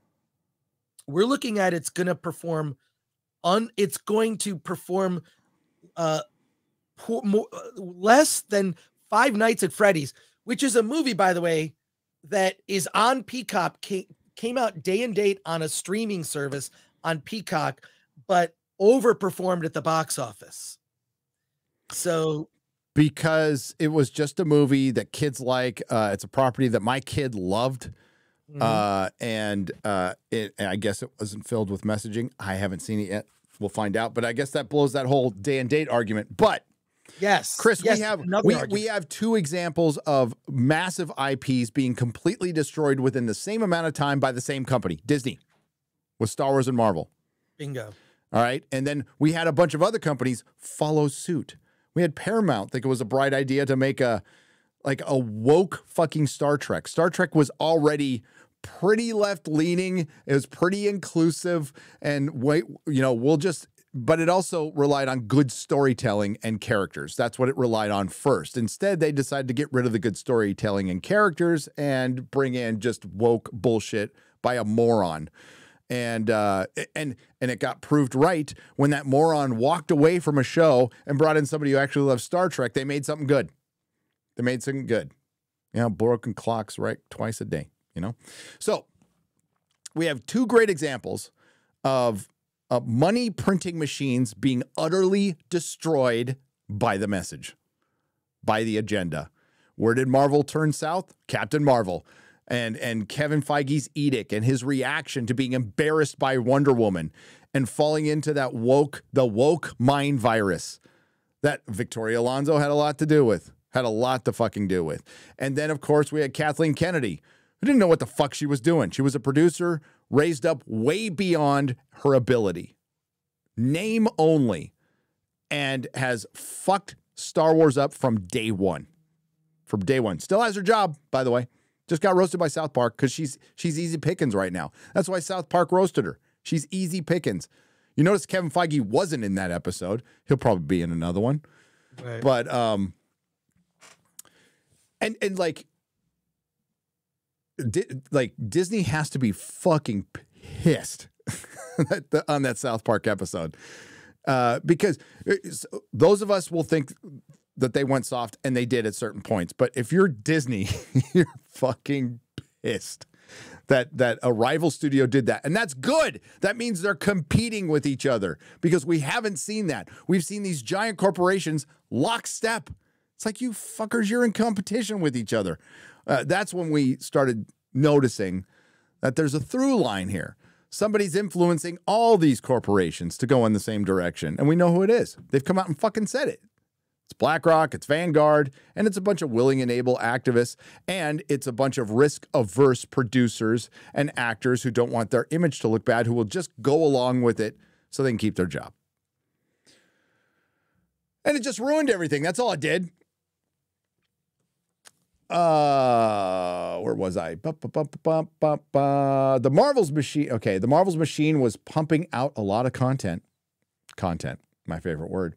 Did it get to the point where there was just too much? Yeah, there was too much shit.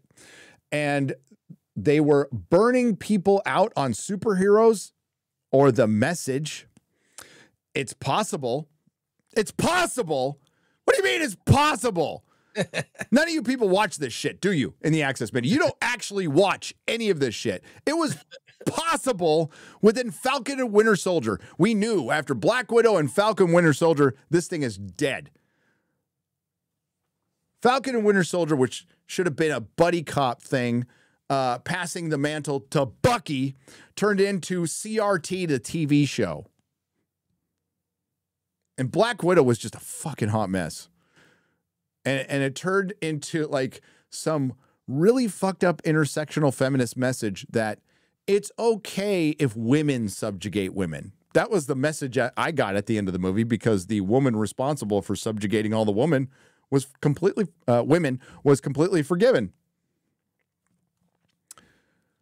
Uh, the Mar- oh, and, and then of course there was WandaVision, which ends with our hero enslaving men, women, and children and being let go by another hero who says they'll never know what you went through. Well, probably not because they were too busy being tortured. I just, on that note, Gary, really interesting is I feel like they're uh, Hollywood doesn't know how to write heroes anymore. The No. people that are shepherding these franchises, what does heroism even mean anymore? Is it costume with superpowers? And the other thing is, like, I- I'm really curious because you went through like the horrible story of the Marvels, like leaked uh, what it is. I mean, it sounds beat for beat terrible, but I don't think there's really a way to how do you write it out that Captain Marvel left the planet to fight on other worlds because that was more important while Earth was going through a lot of things. She sort of just left in the 90s and that was it. She left 90s uh, Nick Fury and then she pieced out. Right? You, It- it- you don't. You bring you bring Carol Danvers down to get her power sucked out by Rogue and call it a day. That's what you Yeah. do. That's how you write yourself out of that one. But I mean, th- just the idea of heroism. What is a hero? To me, when you look at um, original Iron Man 2008, you look at Captain America, the first Avenger, when he, as that gangly, skinny kid, jumps on the grenade or says, I can do this all day, that's a he he's not even in the costume, he doesn't even have the powers, but he has the heart of a hero. And Tony Stark goes through a whole journey of having to deal with the demons of his past and the and the and also what he what his company wrought right? Like what his company created. He now has to deal with that directly and it's it's such a great take all the and the problem is is that the current marvel just seems concerned with like this happens and then this happens and then this happens. None of it is motivated by character and the early marvel stuff when it was good was all motive we got to know the characters we got to know who they are.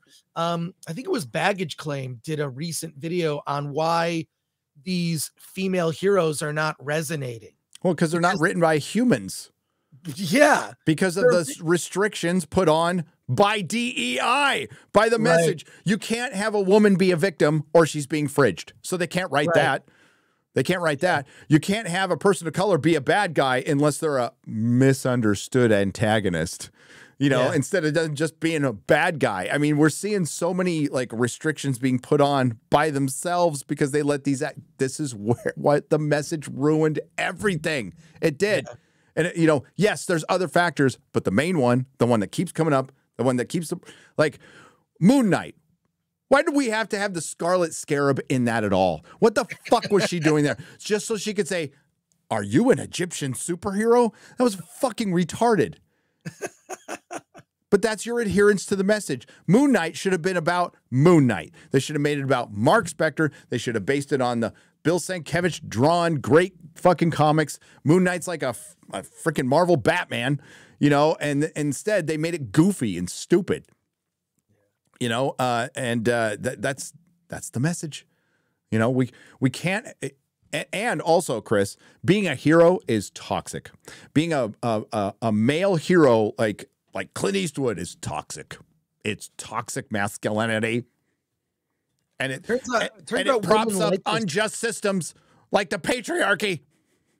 it turns out i think that a, a lot of fans uh, in particular women like those kind of men. They like steve rogers captain america. They liked robert downey jr and and iron man. They they like that and they're not i mean the thing is is the target here's here's how i i believe the marvels is just is just failing is it's not appealing to its intended audience. They're not even interested I think I showed you. Uh, I think I DM'd you on Twitter or something. Maybe something you want to show later. But uh, Let's get to this article, and Yeah, then sorry we'll, we'll, we'll- yeah, we'll get we'll get uh, to that to that clip you showed me. yeah, yeah, yeah. Yeah, it's all good, man. It's all good. Okay, cool. Uh, the Marvel machine was pumping out a lot of content. Blah blah blah. It's okay. Are people uh, burning out on superheroes? It's possible. So, listen. I- think superhero fatigue is here, and uh, uh, the fatigue is from Hollywood. They never wanted to try. because, like, where does fatigue come from? Too many bad movies. Well, but it's here. So we can't say it's not superhero fatigue, it's bad movie fatigue. Well, fatigue is happening with superheroes because of bad movies. Well, they could just make a good one. Well, why don't they? They could. Uh, they're unwilling. They're unwilling to make a good movie. They're about to bring up Shang-Chi. I've said it a million times. If you made it a hard R, and not the other hard R, hard rated R, um, and you made it, uh, you made the, you cast a guy who looks like Bruce Lee because Shang-Chi is Marvel's Bruce Lee, and you you make a Quentin Tarantino esque, or better yet, a 70s esque homage to kung fu movies. It, it, it would have done better. It just Like would have done better. Like But Enter no. the Dragon. But no, Like- Shang-Chi has to get kicked in the balls by his own fucking sister in the first 15 minutes of his own fucking movie. That's the message. That's the fucking message. And you get the most effeminate beta to play him. By the way, it got banned in China. Yeah. Movie got Well, not just that. In China, they thought that the actor Simu Liu was. They thought that uh, uh, the American company was making fun of Chinese by casting an ugly, according to their standards. no, no, this is true. It's true. No, it's It's true. This true. is true. Uh, someone I know who speaks Chinese, and it, reads- they said that all the Chinese stories about this movie were like, why did they cast an ugly actor? So, according to beauty standards for men in China, he's considered ugly. And his costume is shit. The It's- costume it's is terrible. Stupid. and not just that, there are better movies that are of that sort of fantasy martial arts, um, you know, in that genre. But it would be like, it would okay. Take it from the Chinese point of view. It would be like if the Chinese made a an American movie and cast an American actor that was not attractive and made a rah rah, very American culture film, but it was all made by Chinese people. There's going to be some things lost in the translation, and that's that's why this movie did not get a release in China and and Asian audiences. I, don't- I don't think they really responded well. So, yeah, I, I just think about it like look at it from their point of view. An American company made a film basically pandering to the Chinese audience, Yeah, and and it and it bombed. and it, it bombed and it wasn't released in China. Uh, they tried experiment with breaking in some new characters like Shang-Chi and the Eternals with mixed re- mixed results. No results. There, there was nothing mixed. Those movies lost money, which is the of uh, that is the definition of a bomb, of a flop. It lost money. Those movies lost money. Uh, with budgets as big as these, you need home runs.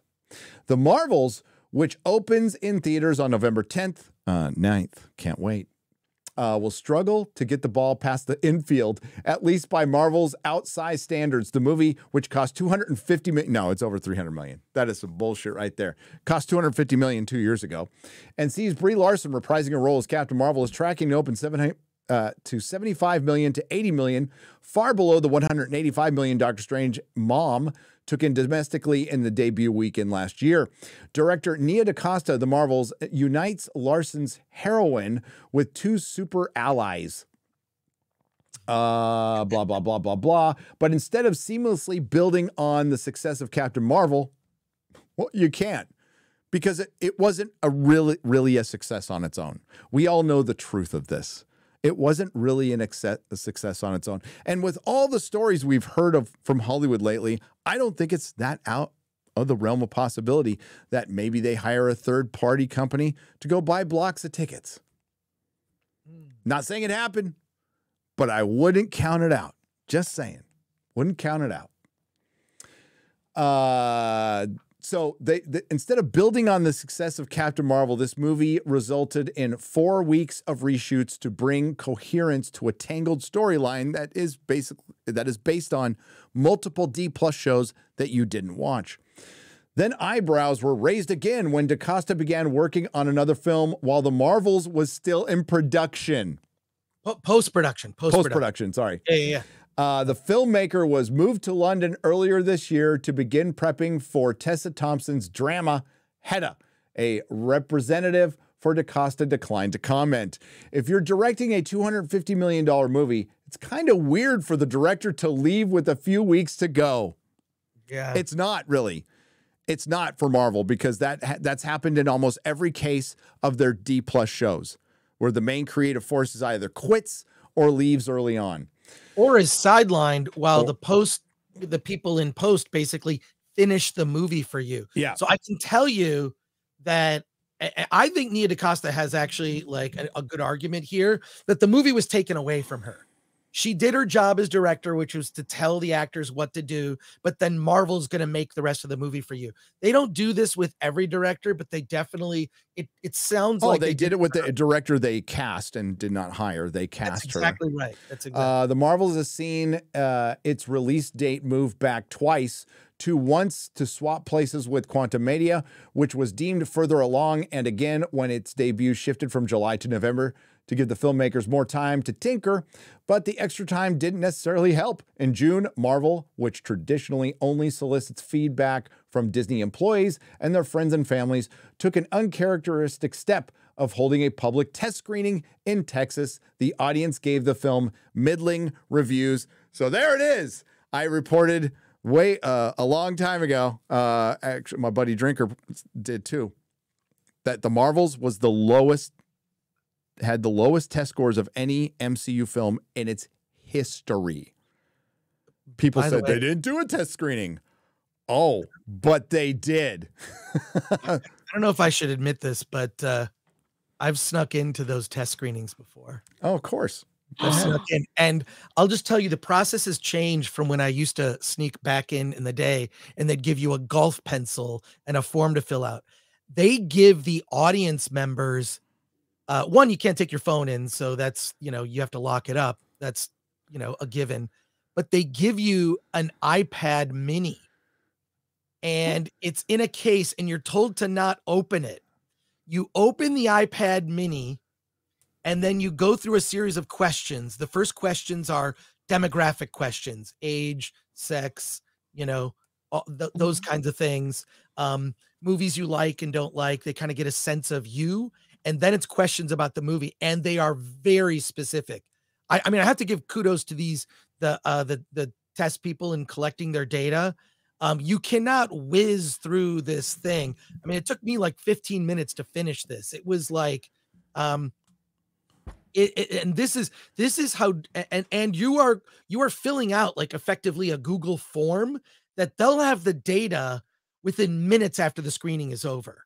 So they've really they've really um, improved this process from the old days of when I used to sneak into test screenings with this with this iPad thing. It's it's kind of crazy. So um, I completely believe it. What I'm shocked about is they they did it in Texas and that this hasn't leaked out. That no one, I'm sure maybe that's how the Reddit stuff. Well, it uh, did, Chris. Is that okay? So, all right. So that I, I was told specifically. Oh, okay, good, good, yes. good. So yeah, I think you'd have a hard time. And by the way, when I did sneak in, I wore glasses and a baseball cap, so I wouldn't be recognized. My hair is my dead giveaway. So I try to like look like I, yeah, I wasn't told it was in Texas. I was told there was a screening, Okay. and it did really bad. okay. And this was a while ago. So uh, I tweeted it. I just said, "Hey," uh, and, and yeah, it it happened. But Marvel has never been in the business of being average. Kevin's real superpowers, his genius, has always been in post production and getting his hands on movies and making sure they're finished strongly, the source adds.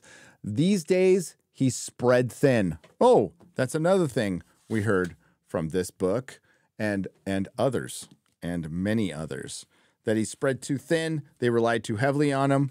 Uh, the genius part probably went to his head uh, a little bit. Uh, let's not forget it was Kevin Feige's idea to have Scarlet Witch turn Mr. Fantastic in his very first film in the MCU into spaghetti. Thought it would be funny. I tell you what, I rewatched that. I was um I can't remember whose video I was watching. I rewatched that scene. It enrages me. Like more than any scene in anything Disney Marvel, what they did to Mr. Fantastic really sums up how they feel about their own characters. While they had a, you know, Maria Rambeau as Captain Marvel and girl Captain America. Uh, they're they blew up Reed Richards' head, made him out to an idiot, and and that was a lot of the general public. That's their first impression of Mister Fantastic. It's fucking stupid. It was absolutely stupid. We're Uh, never gonna get a good on-screen No, presence dude, no. the stage. Like I, I just as like a longtime fan and just read the comics when I was a kid. Like we're just never gonna get the Fantastic Four as I envisioned No. them in my head.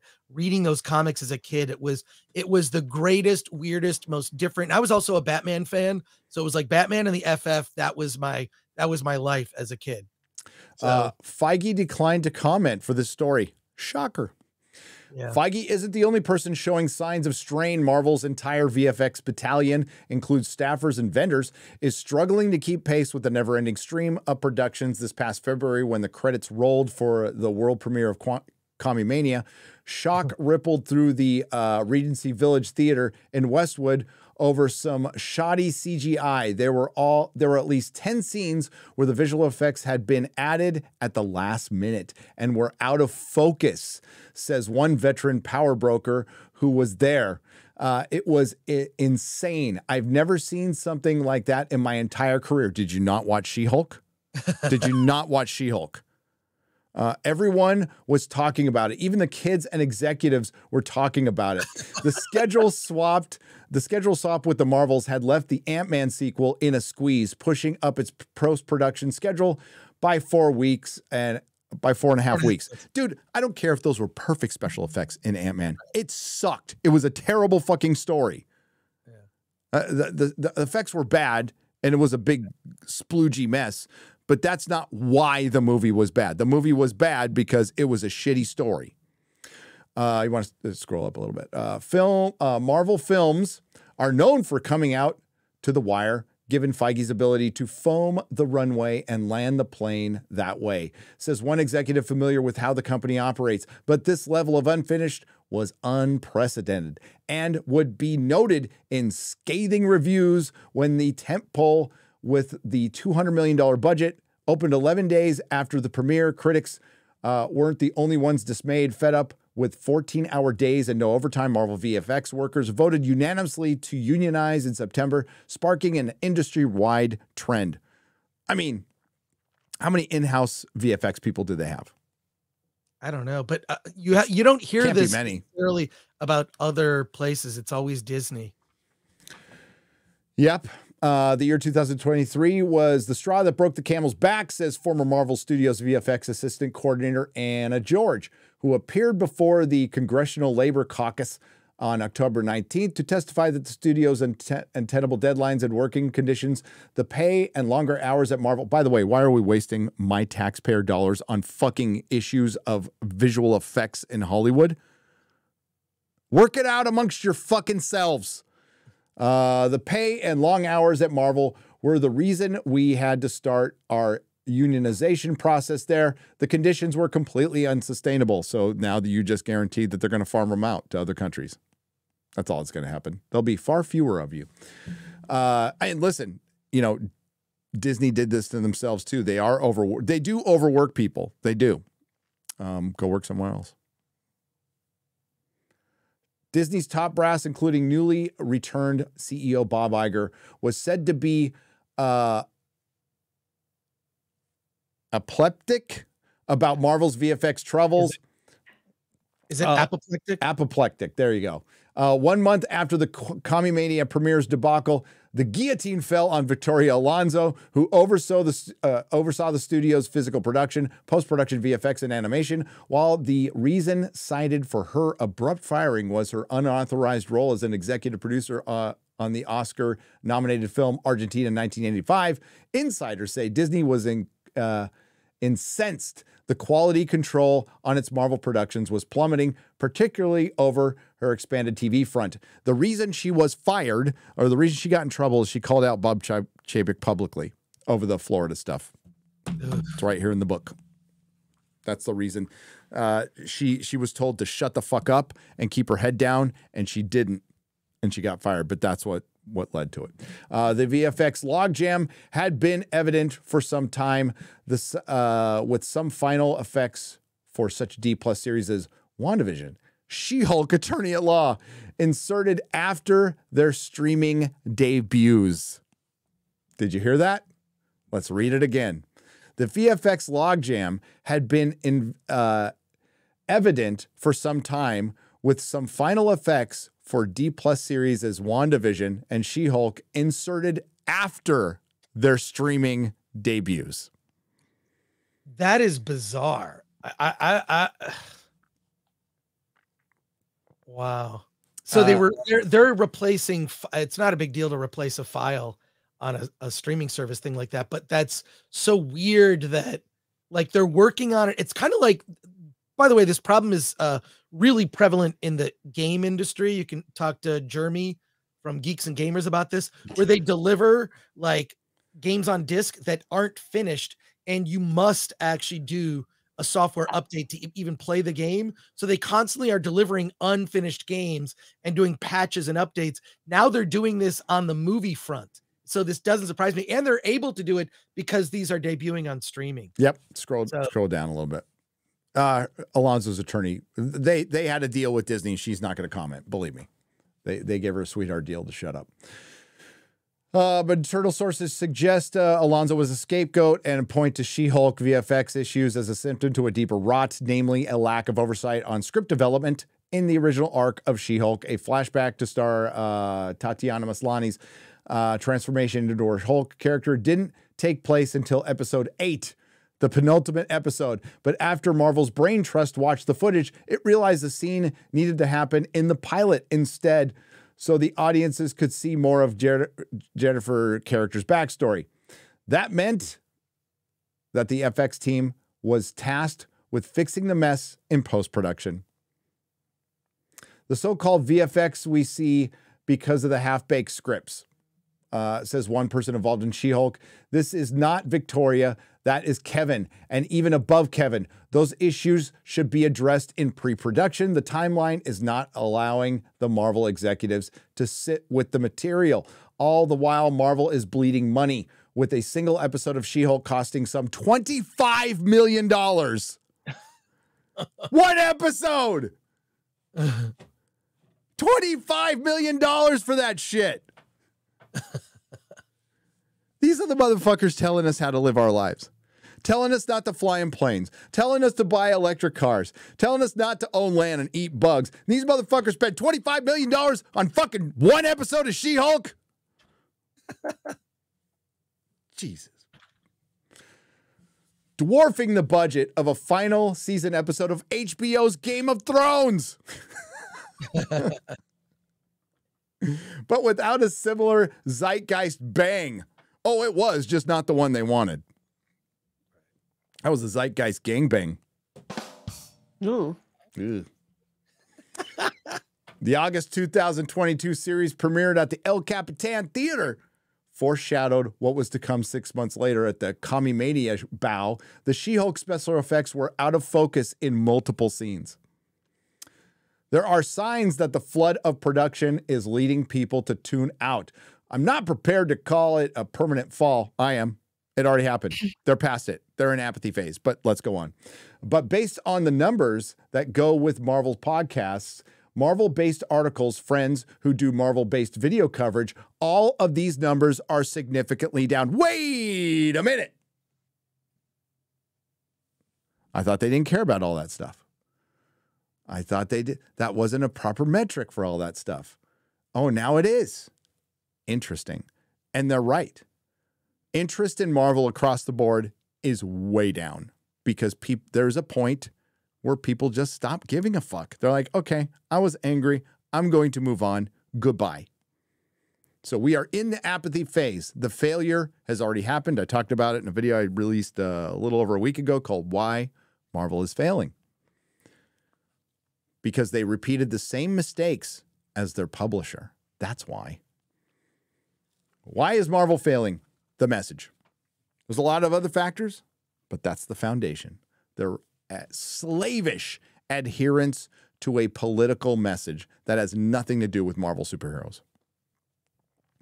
Marvel based articles, friends who do Marvel based video coverage. All of these numbers are significantly down, says Joanna Robinson, co author of the New York Times bestseller MCU The Reign of, of Marvel Studios, who is writing, who is a writer and a podcaster at Ringer. By the way, uh, that book basically repeats articles and known information for a long time, adds a bit of context to it, though. There's some interesting context, but it also reads like it was uh, it was trying to it was basically trying to separate Kevin Feige from any culpability. It's almost like he signed off on it. They don't really go after him or Iger at all. Uh, da, da, da, da, da, Marla, who is writer and podcaster at Ringer, The Ringer. Uh, the quality is The Ringer still around? Wasn't that on ESPN for a second? The Ringer? The Ringer, yeah. The guy who runs The Ringer was on ESPN for like a minute. And they tried to like cross culture, pop culture and sports. Um, but it's it's like it's like the fucking Atlantic, dude. Yeah, it's it's just some uh, faux pseudo intellectual highbrow shit. Um, the quality is suffering. In 2019, at its peak, if you put Marvel Studios in front of something, people were like, "Oh, that brand is uh, means quality." That association is no longer the case because there have been so many projects that have felt half baked and undercooked. What a bigot. A public criticism, as public criticism mounts, Feige is pulling the plug on scripts projects that aren't working. Case in point, the Blade reboot with Marsh, uh, Marshala Ali signed on for uh, the epi- eponymous. Uh, I know this word. Eponymous. Eponymous role of a vampire.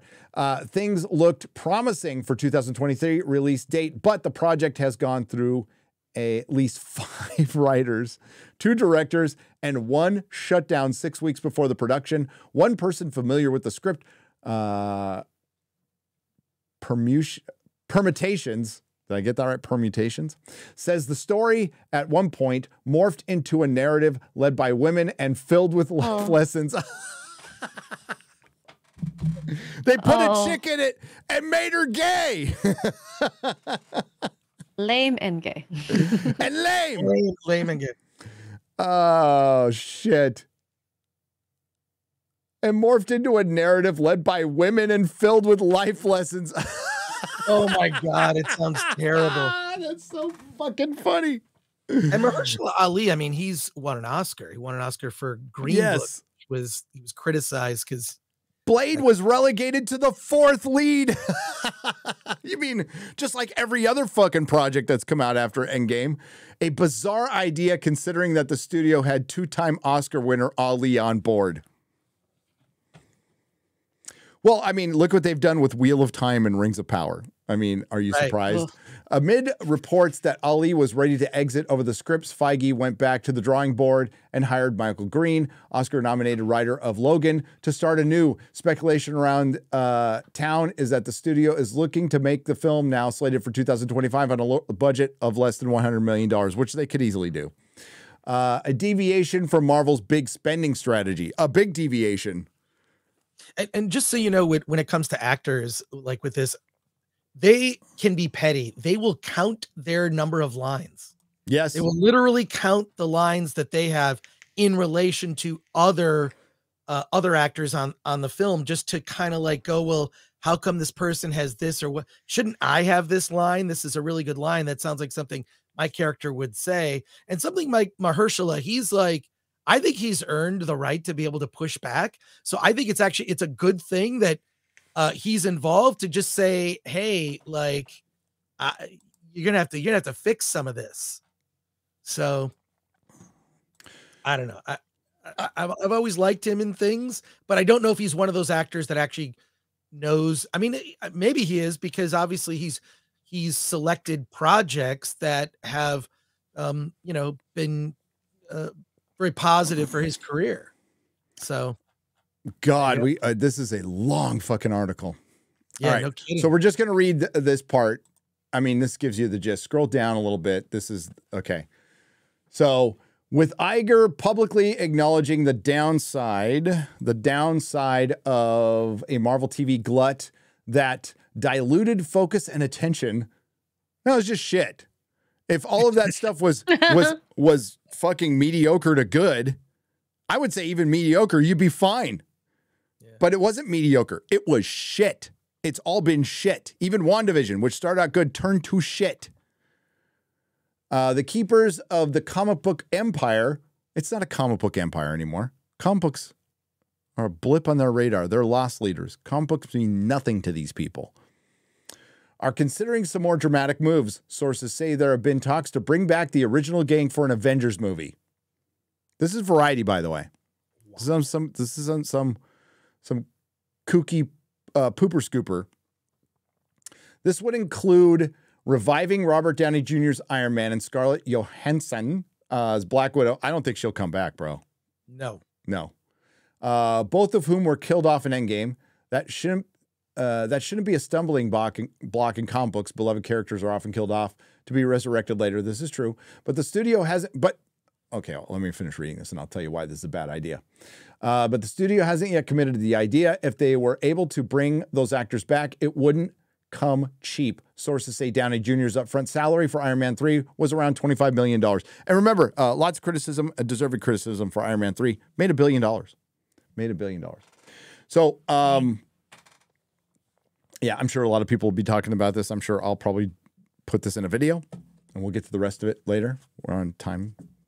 But uh, why that's a bad idea is bringing them back for one move, more movie accomplishes what?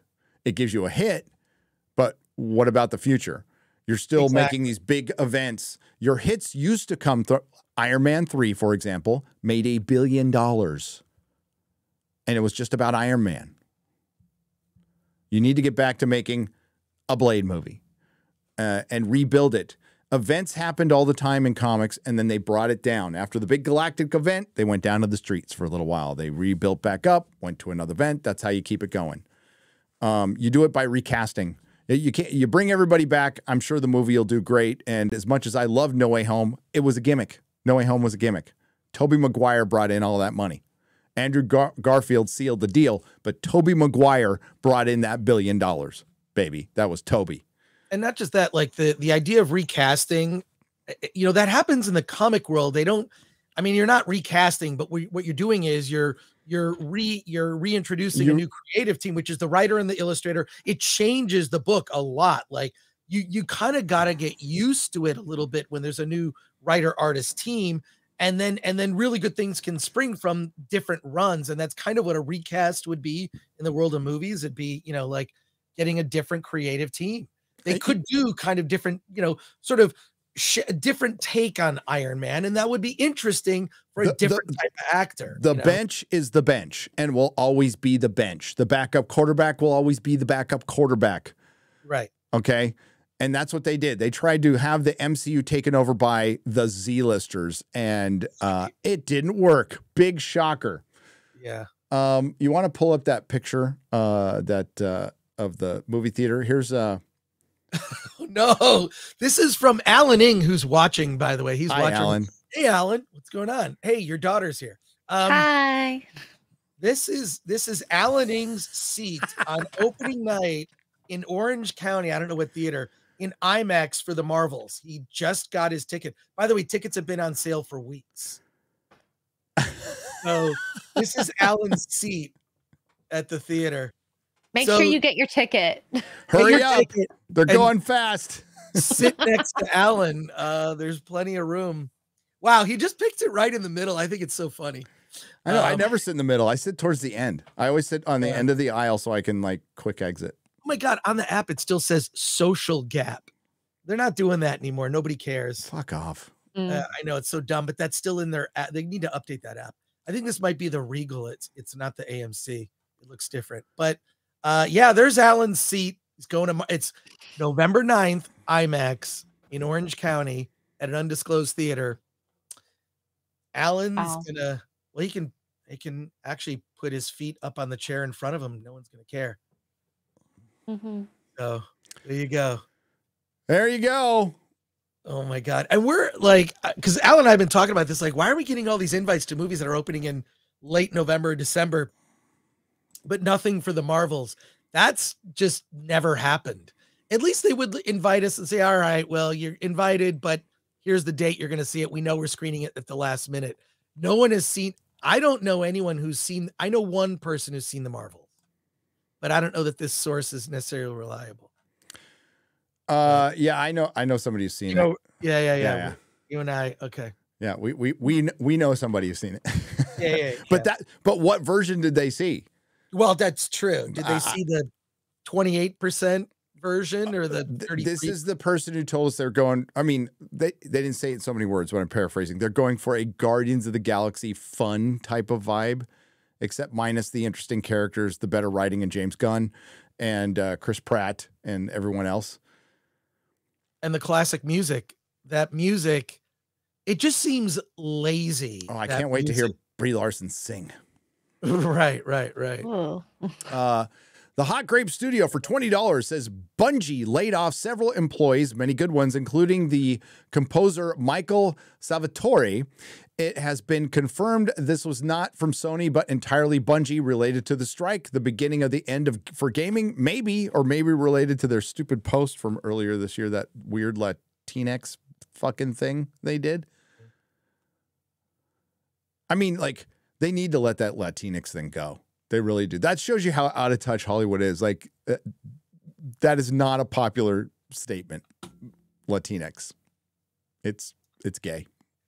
It's super gay. Uh, Smooth the DJ has gifted five Nerdrotic memberships for twenty five dollars. Thank you, Smooth. Nice. And you mentioned uh, something in chat. Uh, it, it is incredible to to to see the Access Media like criticize Marvel like this, and we did get some like they're considering bringing back the original Avengers. But I mean, uh, would they bring back the original actors to play the? I don't know. You could do it. Would here's an interesting I, a story that I would love to see. What happened to Steve Rogers when he went back in time?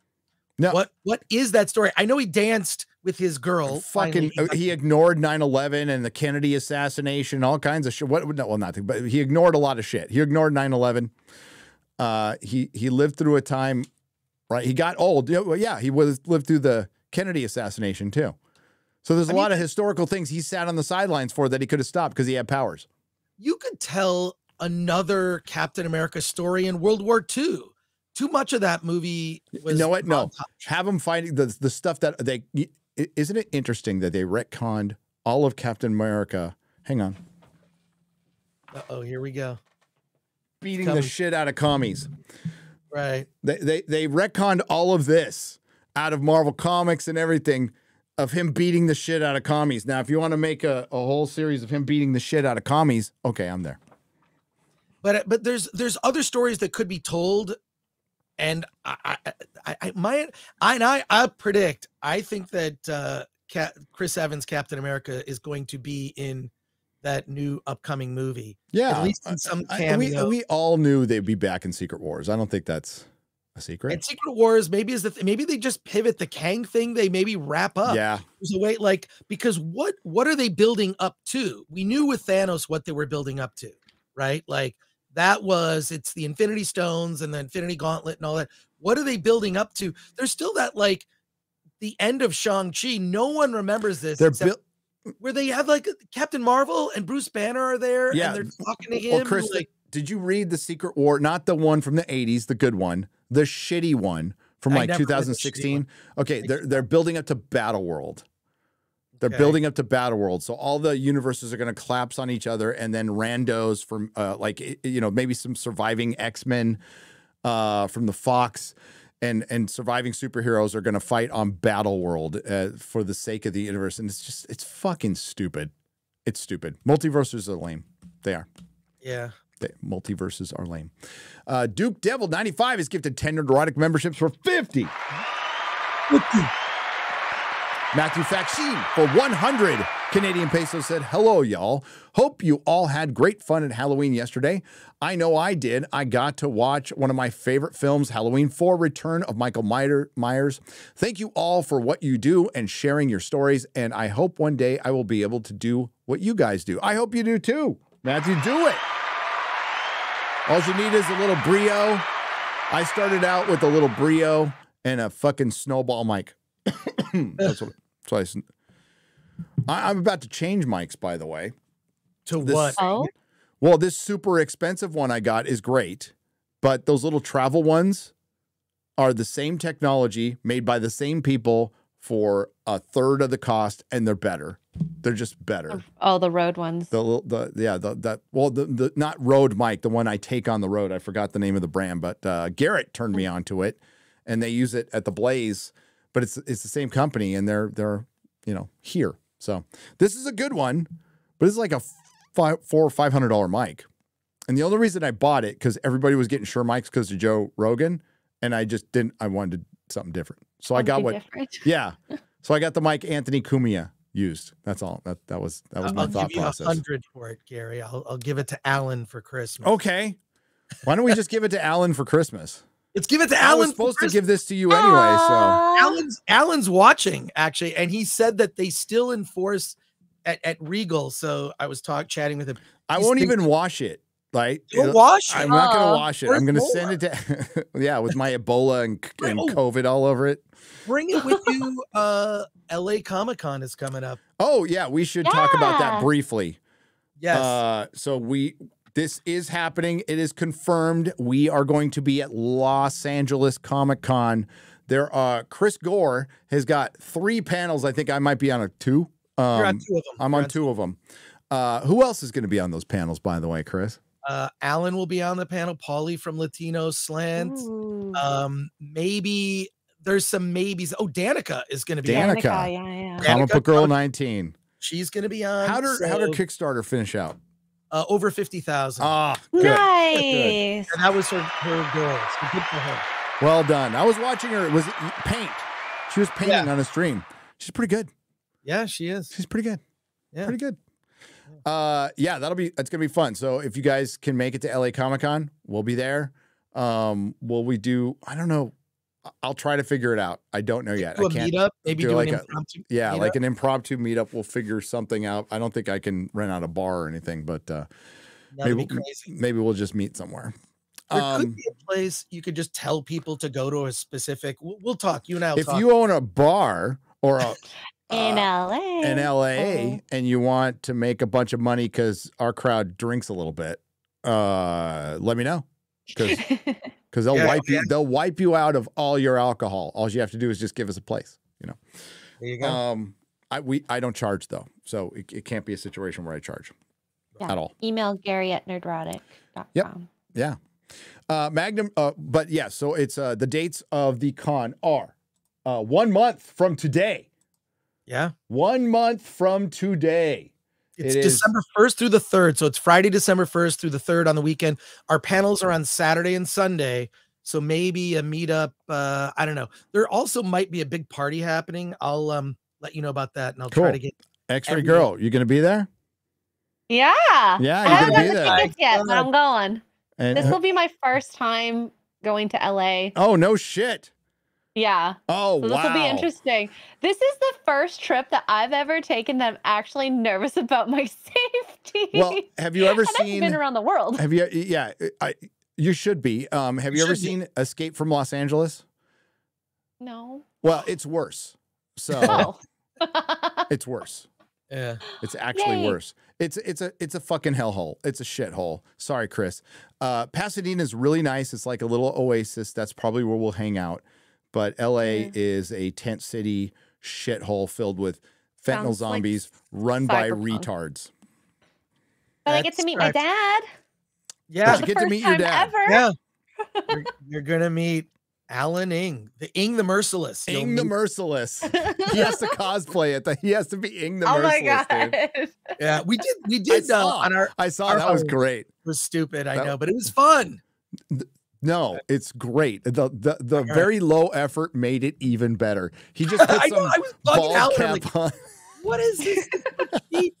So I. I guess it works. I love it. Uh, Magnum Norris for twenty dollars says, "I love you, Al Gore.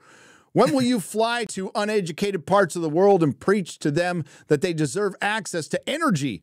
Love Attack of the Cock. All right. Attack. of the- wow. Well, I'm gonna be. That's the porn I version. actually- I'm going to Grand Rapids Comic Con this weekend. I'm flying out tomorrow. I'll be there on Friday, Saturday, Sunday, and uh, doing a couple panels there, and hanging out. And I'll be bringing. What? You're gonna be so close to me. I'll be close. I'm in Michigan, like the middle of the state. So Yeah, we're gonna be in Wisconsin in like a couple weeks, dude. yeah, I, I know.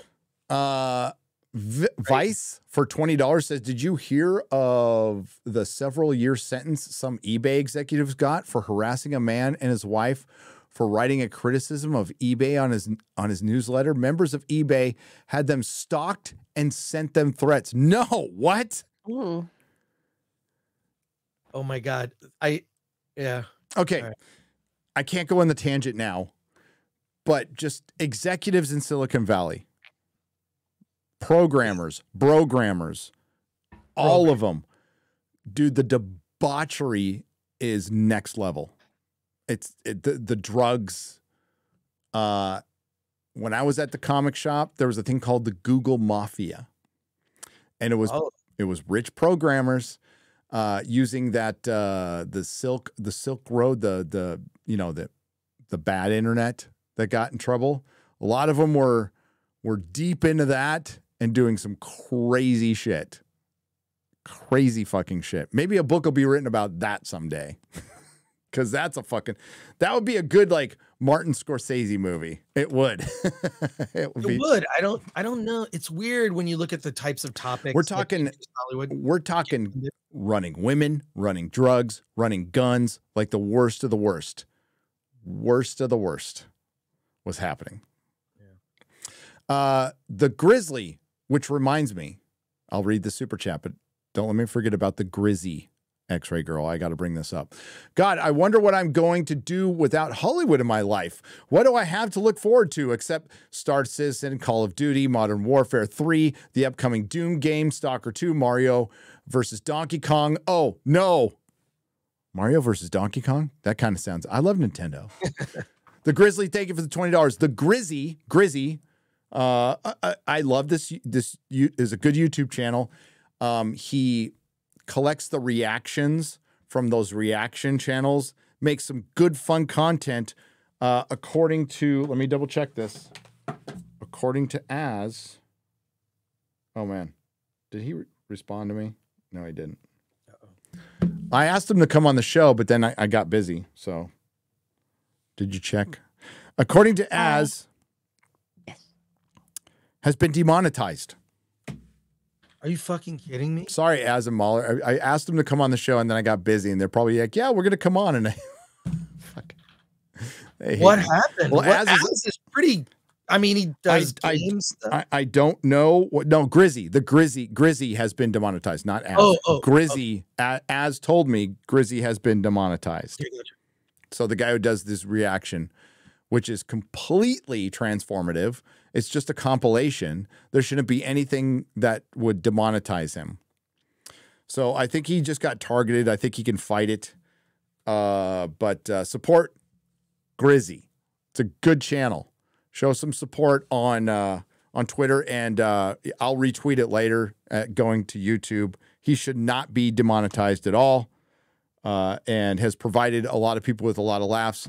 Listen, you're going to go out there and be a fake reactor and cry over like really just inane content, you put your you put yourself out in the world. I understood this when even when like I started, right? I didn't think anybody would watch, but I'm like, well, anything I do now is out forever.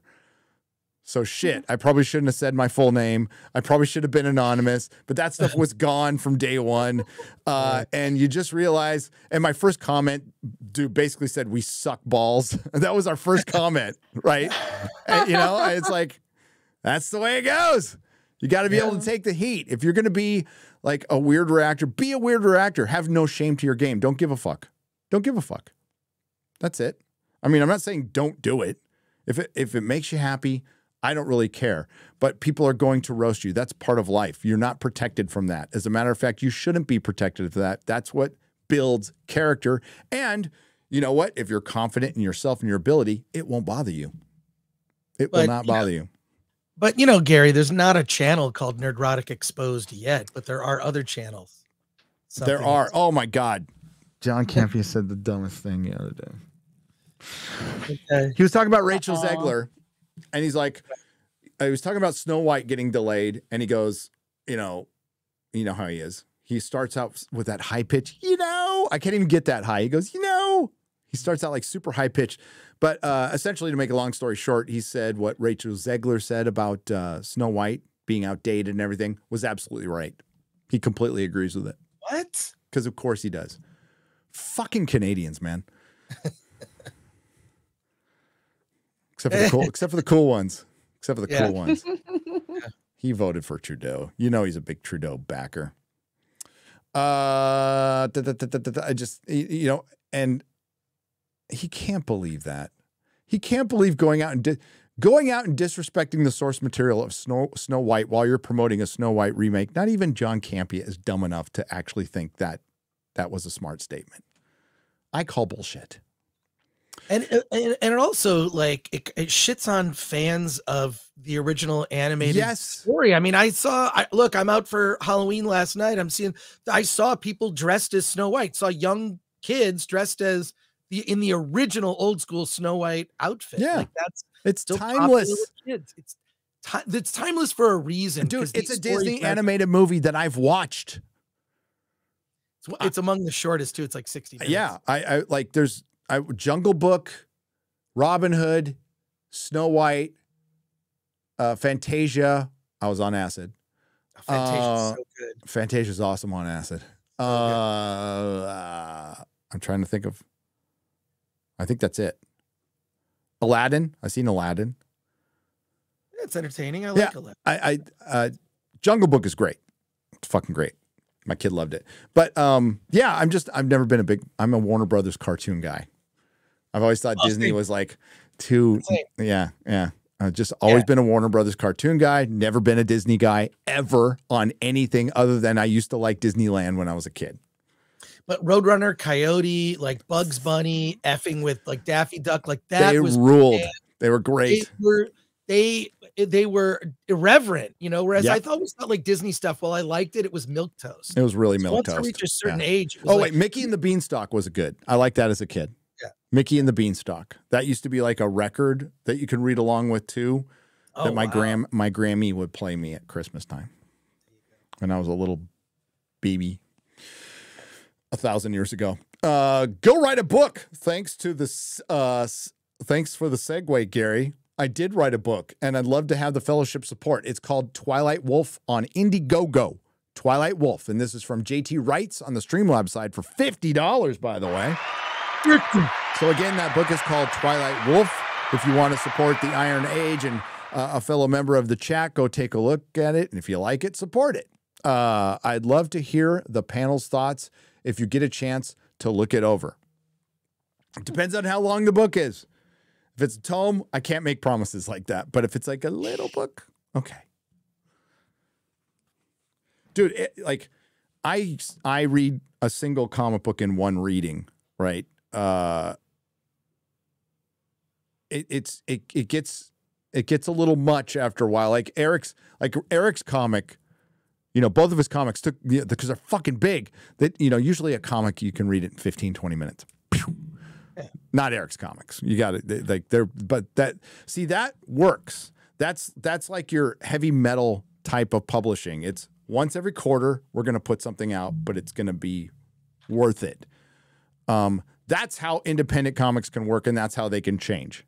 By the way, if they like the monthly model's tough, it's tough. Some people can do it though, but the monthly model is tough. But if you want to stay in the zeitgeist, you can't release even a hundred page comic book once every two years. Nobody's going to remember it. It's not gonna. It's not gonna have any impact at all. It sucks. It could be the greatest comic book ever written, but it's still gonna have attrition with the fan base because it's just too much damn time between comic books. Eric releasing something every basically quarter is a very smart idea. I think everybody should kind of emulate that. A lot of fucking work. It's a lot of work, but uh, you know, if everybody could do comic books, then everybody would. It's a very special talent. And part of that talent isn't just the talent. As we've said, you can have all the fucking talent in the world, but if you don't have the mindset, if you don't have the mindset and the will to work and and because it's you know you would th- you would like in a perfect world it's just the talent. Everybody should just rely on talent. No you have to have business acumen. You have to be able to market yourself uh, and you have to have fucking personal drive to want to do this shit. You have to actually care you have to care there's a lot of people with tons of talent who don't give a fuck how many times have we seen that in sports like the most talented player in the world just wasn't into the, for whatever reason wasn't into the game and it might not even be his fault maybe his dad burned him out maybe his coach burned him out maybe he just didn't like it but we saw that, uh, you know, Barry Sanders, man, one of the most talented people in the world, just walked away. Just walked yeah. away. Had enough. Peace out. Didn't like the owners, walked away. Could have played easily four more years.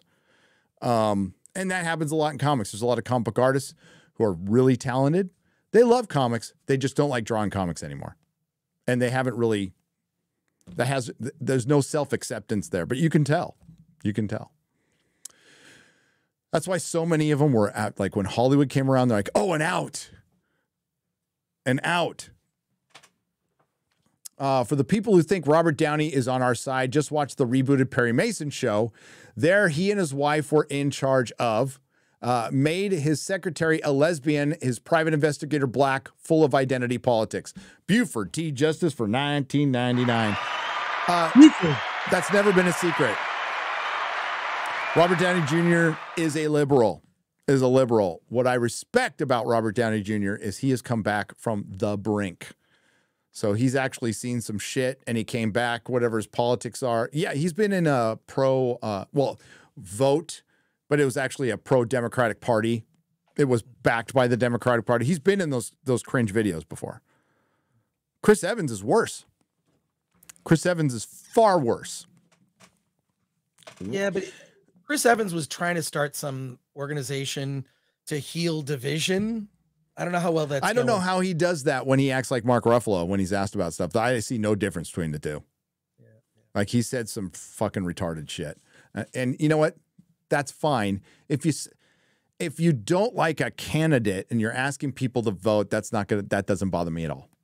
It's when you start calling the candidate that you don't like their backers idiots, Nazis, evil people, yeah. that's where I start having a problem. That's where I have the problem. It's like, oh, you know, those these are your potential customers. You know, that's half of America. You know, like that's my mom. You know, yeah. fuck you. Call my mom a Nazi. Uh, they could have mined. Mom's based, by the way. Both my moms are based. Uh, they could have. Uh, they could have mined. Uh, this is a tutorial slave two parts for 30 British pounds, proper money. They could have mined the five year gap with movie releases for Inhumans, Warlock, Nova, Ronin, Black Widow, Aftermath, with Nat and Steve leading the new Avengers. Yes, all day long. They could have introduced the Fantastic Four and Namor. They could have given Hulk, they could have not been cheap and given Hulk his own fucking movie. Right. Isn't it weird that Joss Whedon made the best Hulk movie. Joss yeah. Whedon. Joss fucking yeah. Whedon made the best Hulk movie. Made the best Black Widow movie. Uh, you want to know why? Why? Joss Whedon read comic books.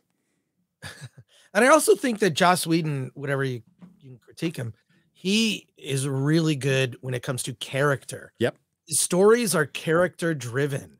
And that's what in a nutshell, that's what that's what Marvel has lost. The stories aren't character driven anymore. They're just event driven. This happens, then this happens, and this happens. Yep. And that's and that's stu- and it, it's the same with Star Wars too. Nothing is motivated by character. It's all motivated all right. by well, this thing has happened. I I actually got to run, Gary. Yeah, yeah, yeah. By that I mean I am going to I am gonna urinate on myself if I just someone's oh. gonna clip that if I don't get out of this chair. Um I didn't mean to bring that up. I'm just saying I have had to pee for the. last. I should have just gone and said, "Just hey, go, just go, just go." Right? We got to finish this up and get out of here. But thanks okay, for letting okay. everybody know the internet's forever, Chris. Exactly. All right. Uh, first of all, thank you, Gary. Thank, thank you, X-Ray Girl. Thank I'll see you. you in LA in a month. Um, Yay! Uh, but I'll be on the Nooner next week. We're gonna we're we'll have fun on the Nooner next week, and I'm doing the Film Threat uh, Hollywood on the Rock show in 22 minutes. So let's see how fast I can I can uh, make lunch. All right, So- go make lunch. Thanks, Take Chris care, Gore. everybody. Hi, Hey, Chris. Thanks, Chris Gore. Love you all. Later. All right, we'll get to part two of this tutorial slave. Uh, says they could have mined the five year gap with movie releases for the Inhumans. Uh, uh, New Asgard, The Professor, Thor and Hulk double feature. I, I wouldn't have done. I wouldn't have gone straight to Professor Hulk. I, I, I would have gone to the Gray Hulk, but that's me. Mr. Fix It. I'd have done Mr. Fix It. I'd have done a lot of stuff before I went right to the professor. Uh, Agents of S.H.I.E.L.D. reincorporating Coulson and company into the MCU and something like Thanos, Servant of Death, Eternity, etc., taking him uh, to task for the snap. There's a lot of stuff they could. So, Mephisto is a great pre villain or a villain that you could have combined with Galactus and Doctor Doom. Uh, Duke Devil 95, as a former criminal prosecutor, I doubt Majors will serve any time if convicted. I don't think so either. Uh, I'm more curious about the antics of his legal team, regardless. Majors' reputation is too damaged for Disney to rely on him for, as the new Thanos. You're absolutely correct. And his legal team has been dumb. They came out and said, uh, We have uh, evidence that will exonerate us, but now that we have the written report, it's, yeah. I don't think the guy's going to do any time. I think he was in a, a, a bad relationship right? And and she was trying to grab his phone. Um, here's some relationship advice for uh, from a dad. Don't be in a relationship where you a need to hide your phone from your girlfriend or wife. Okay, just don't be in that relationship. If you have to hide your phone because you're cheating on her, break up with her. Have fucking testicles. Break up with her or don't cheat. There you go. And don't be in a relationship with the kind of girl who wants to sneak and look at your phone all the fucking time. There's there's a, there's a great option in any relationship, a door that you can walk through and leave any fucking time you want. There you go. That's my relationship advice. That's pretty good. Uh, you know, It's logical, but people don't use it. No, they think they're trapped in relationships and it's the only one is for me. And it's, it's, it has a lot to do with self worth and stuff. And it's ultimately kind of sad. It really is. Um, but uh, yeah. Don't don't be in an abusive relationship. Walk out the fucking door. You'll be fine. You'll be much better off than potentially murdered or beaten, uh, or or you have to walk on eggshells all the time, or it's just fucking annoying that I I feel like it's like why are you going through my phone? I'm not doing anything. You know, that that's annoying as fuck too. Uh, but yeah, It's broken trust. broken trust. All right, we're gonna get the rest of the square up. We gotta go. So what do you got coming up, X-Ray Girl?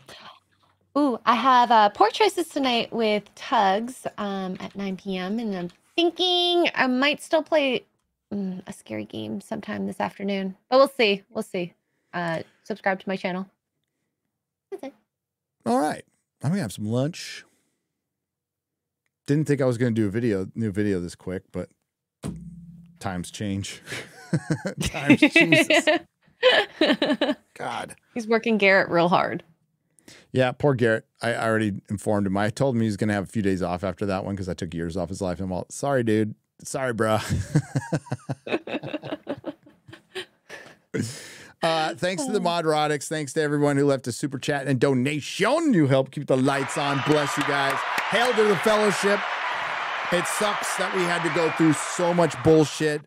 Uh, I mean, we are winning for whatever reason. We are winning. We are winning. The, Uh, woke Hollywood is falling. It's crumbling. Disney is is the is the lost leader in that. Uh, they are losing, and they're leading everybody in losing and causing a lot of the losing. But ultimately, like we lost the things we love. Hopefully, some will still be around. Uh, you can always look at the old stuff and enjoy it. That's always going to be there for you. Uh, you don't need Hollywood. Hollywood needs you, and they need to start acting like it. And we need to see a far more humble and grateful Hollywood if they are going to survive. Period. End of story. If not, then fuckity bye. Uh, thanks again, everyone. We'll see you next Wednesday on the Nooner. This Friday we have Kelley Jones. we have Kelley Jones. Should I Yeah, say if we? Oh, Graham Nolan. and Graham Nolan. Two comic book legends on at the same time on such a crazy week. And I'm sure they can offer a lot of insight. I mean, they, you know, some of them might have peripherally worked with Hollywood, but they worked within the comic book industry, which was a microcosm of what Hollywood is. They have plenty of insights for that. So it'll be fun show. Then, of course, yes, we'll be at LA Comic Con in a month. We got West, Wisconsin coming in a couple weeks. It's gonna, and then we have the Marvels. We have the Marvels next week. Loki Gary's is so happy. Loki is end. Oh wow, that's right. Loki ends on the same day Marvels comes out. Yes. I'm gonna be busy next week. Holy shit. Um, yeah. So uh, lots of stuff going on. Lots and lots of stuff going on. And uh, Rachel Zegler is gonna hit the red carpet. It's just like Christmas, it is. but in November. Uh, thanks to everyone. We will see you next time. Ciao.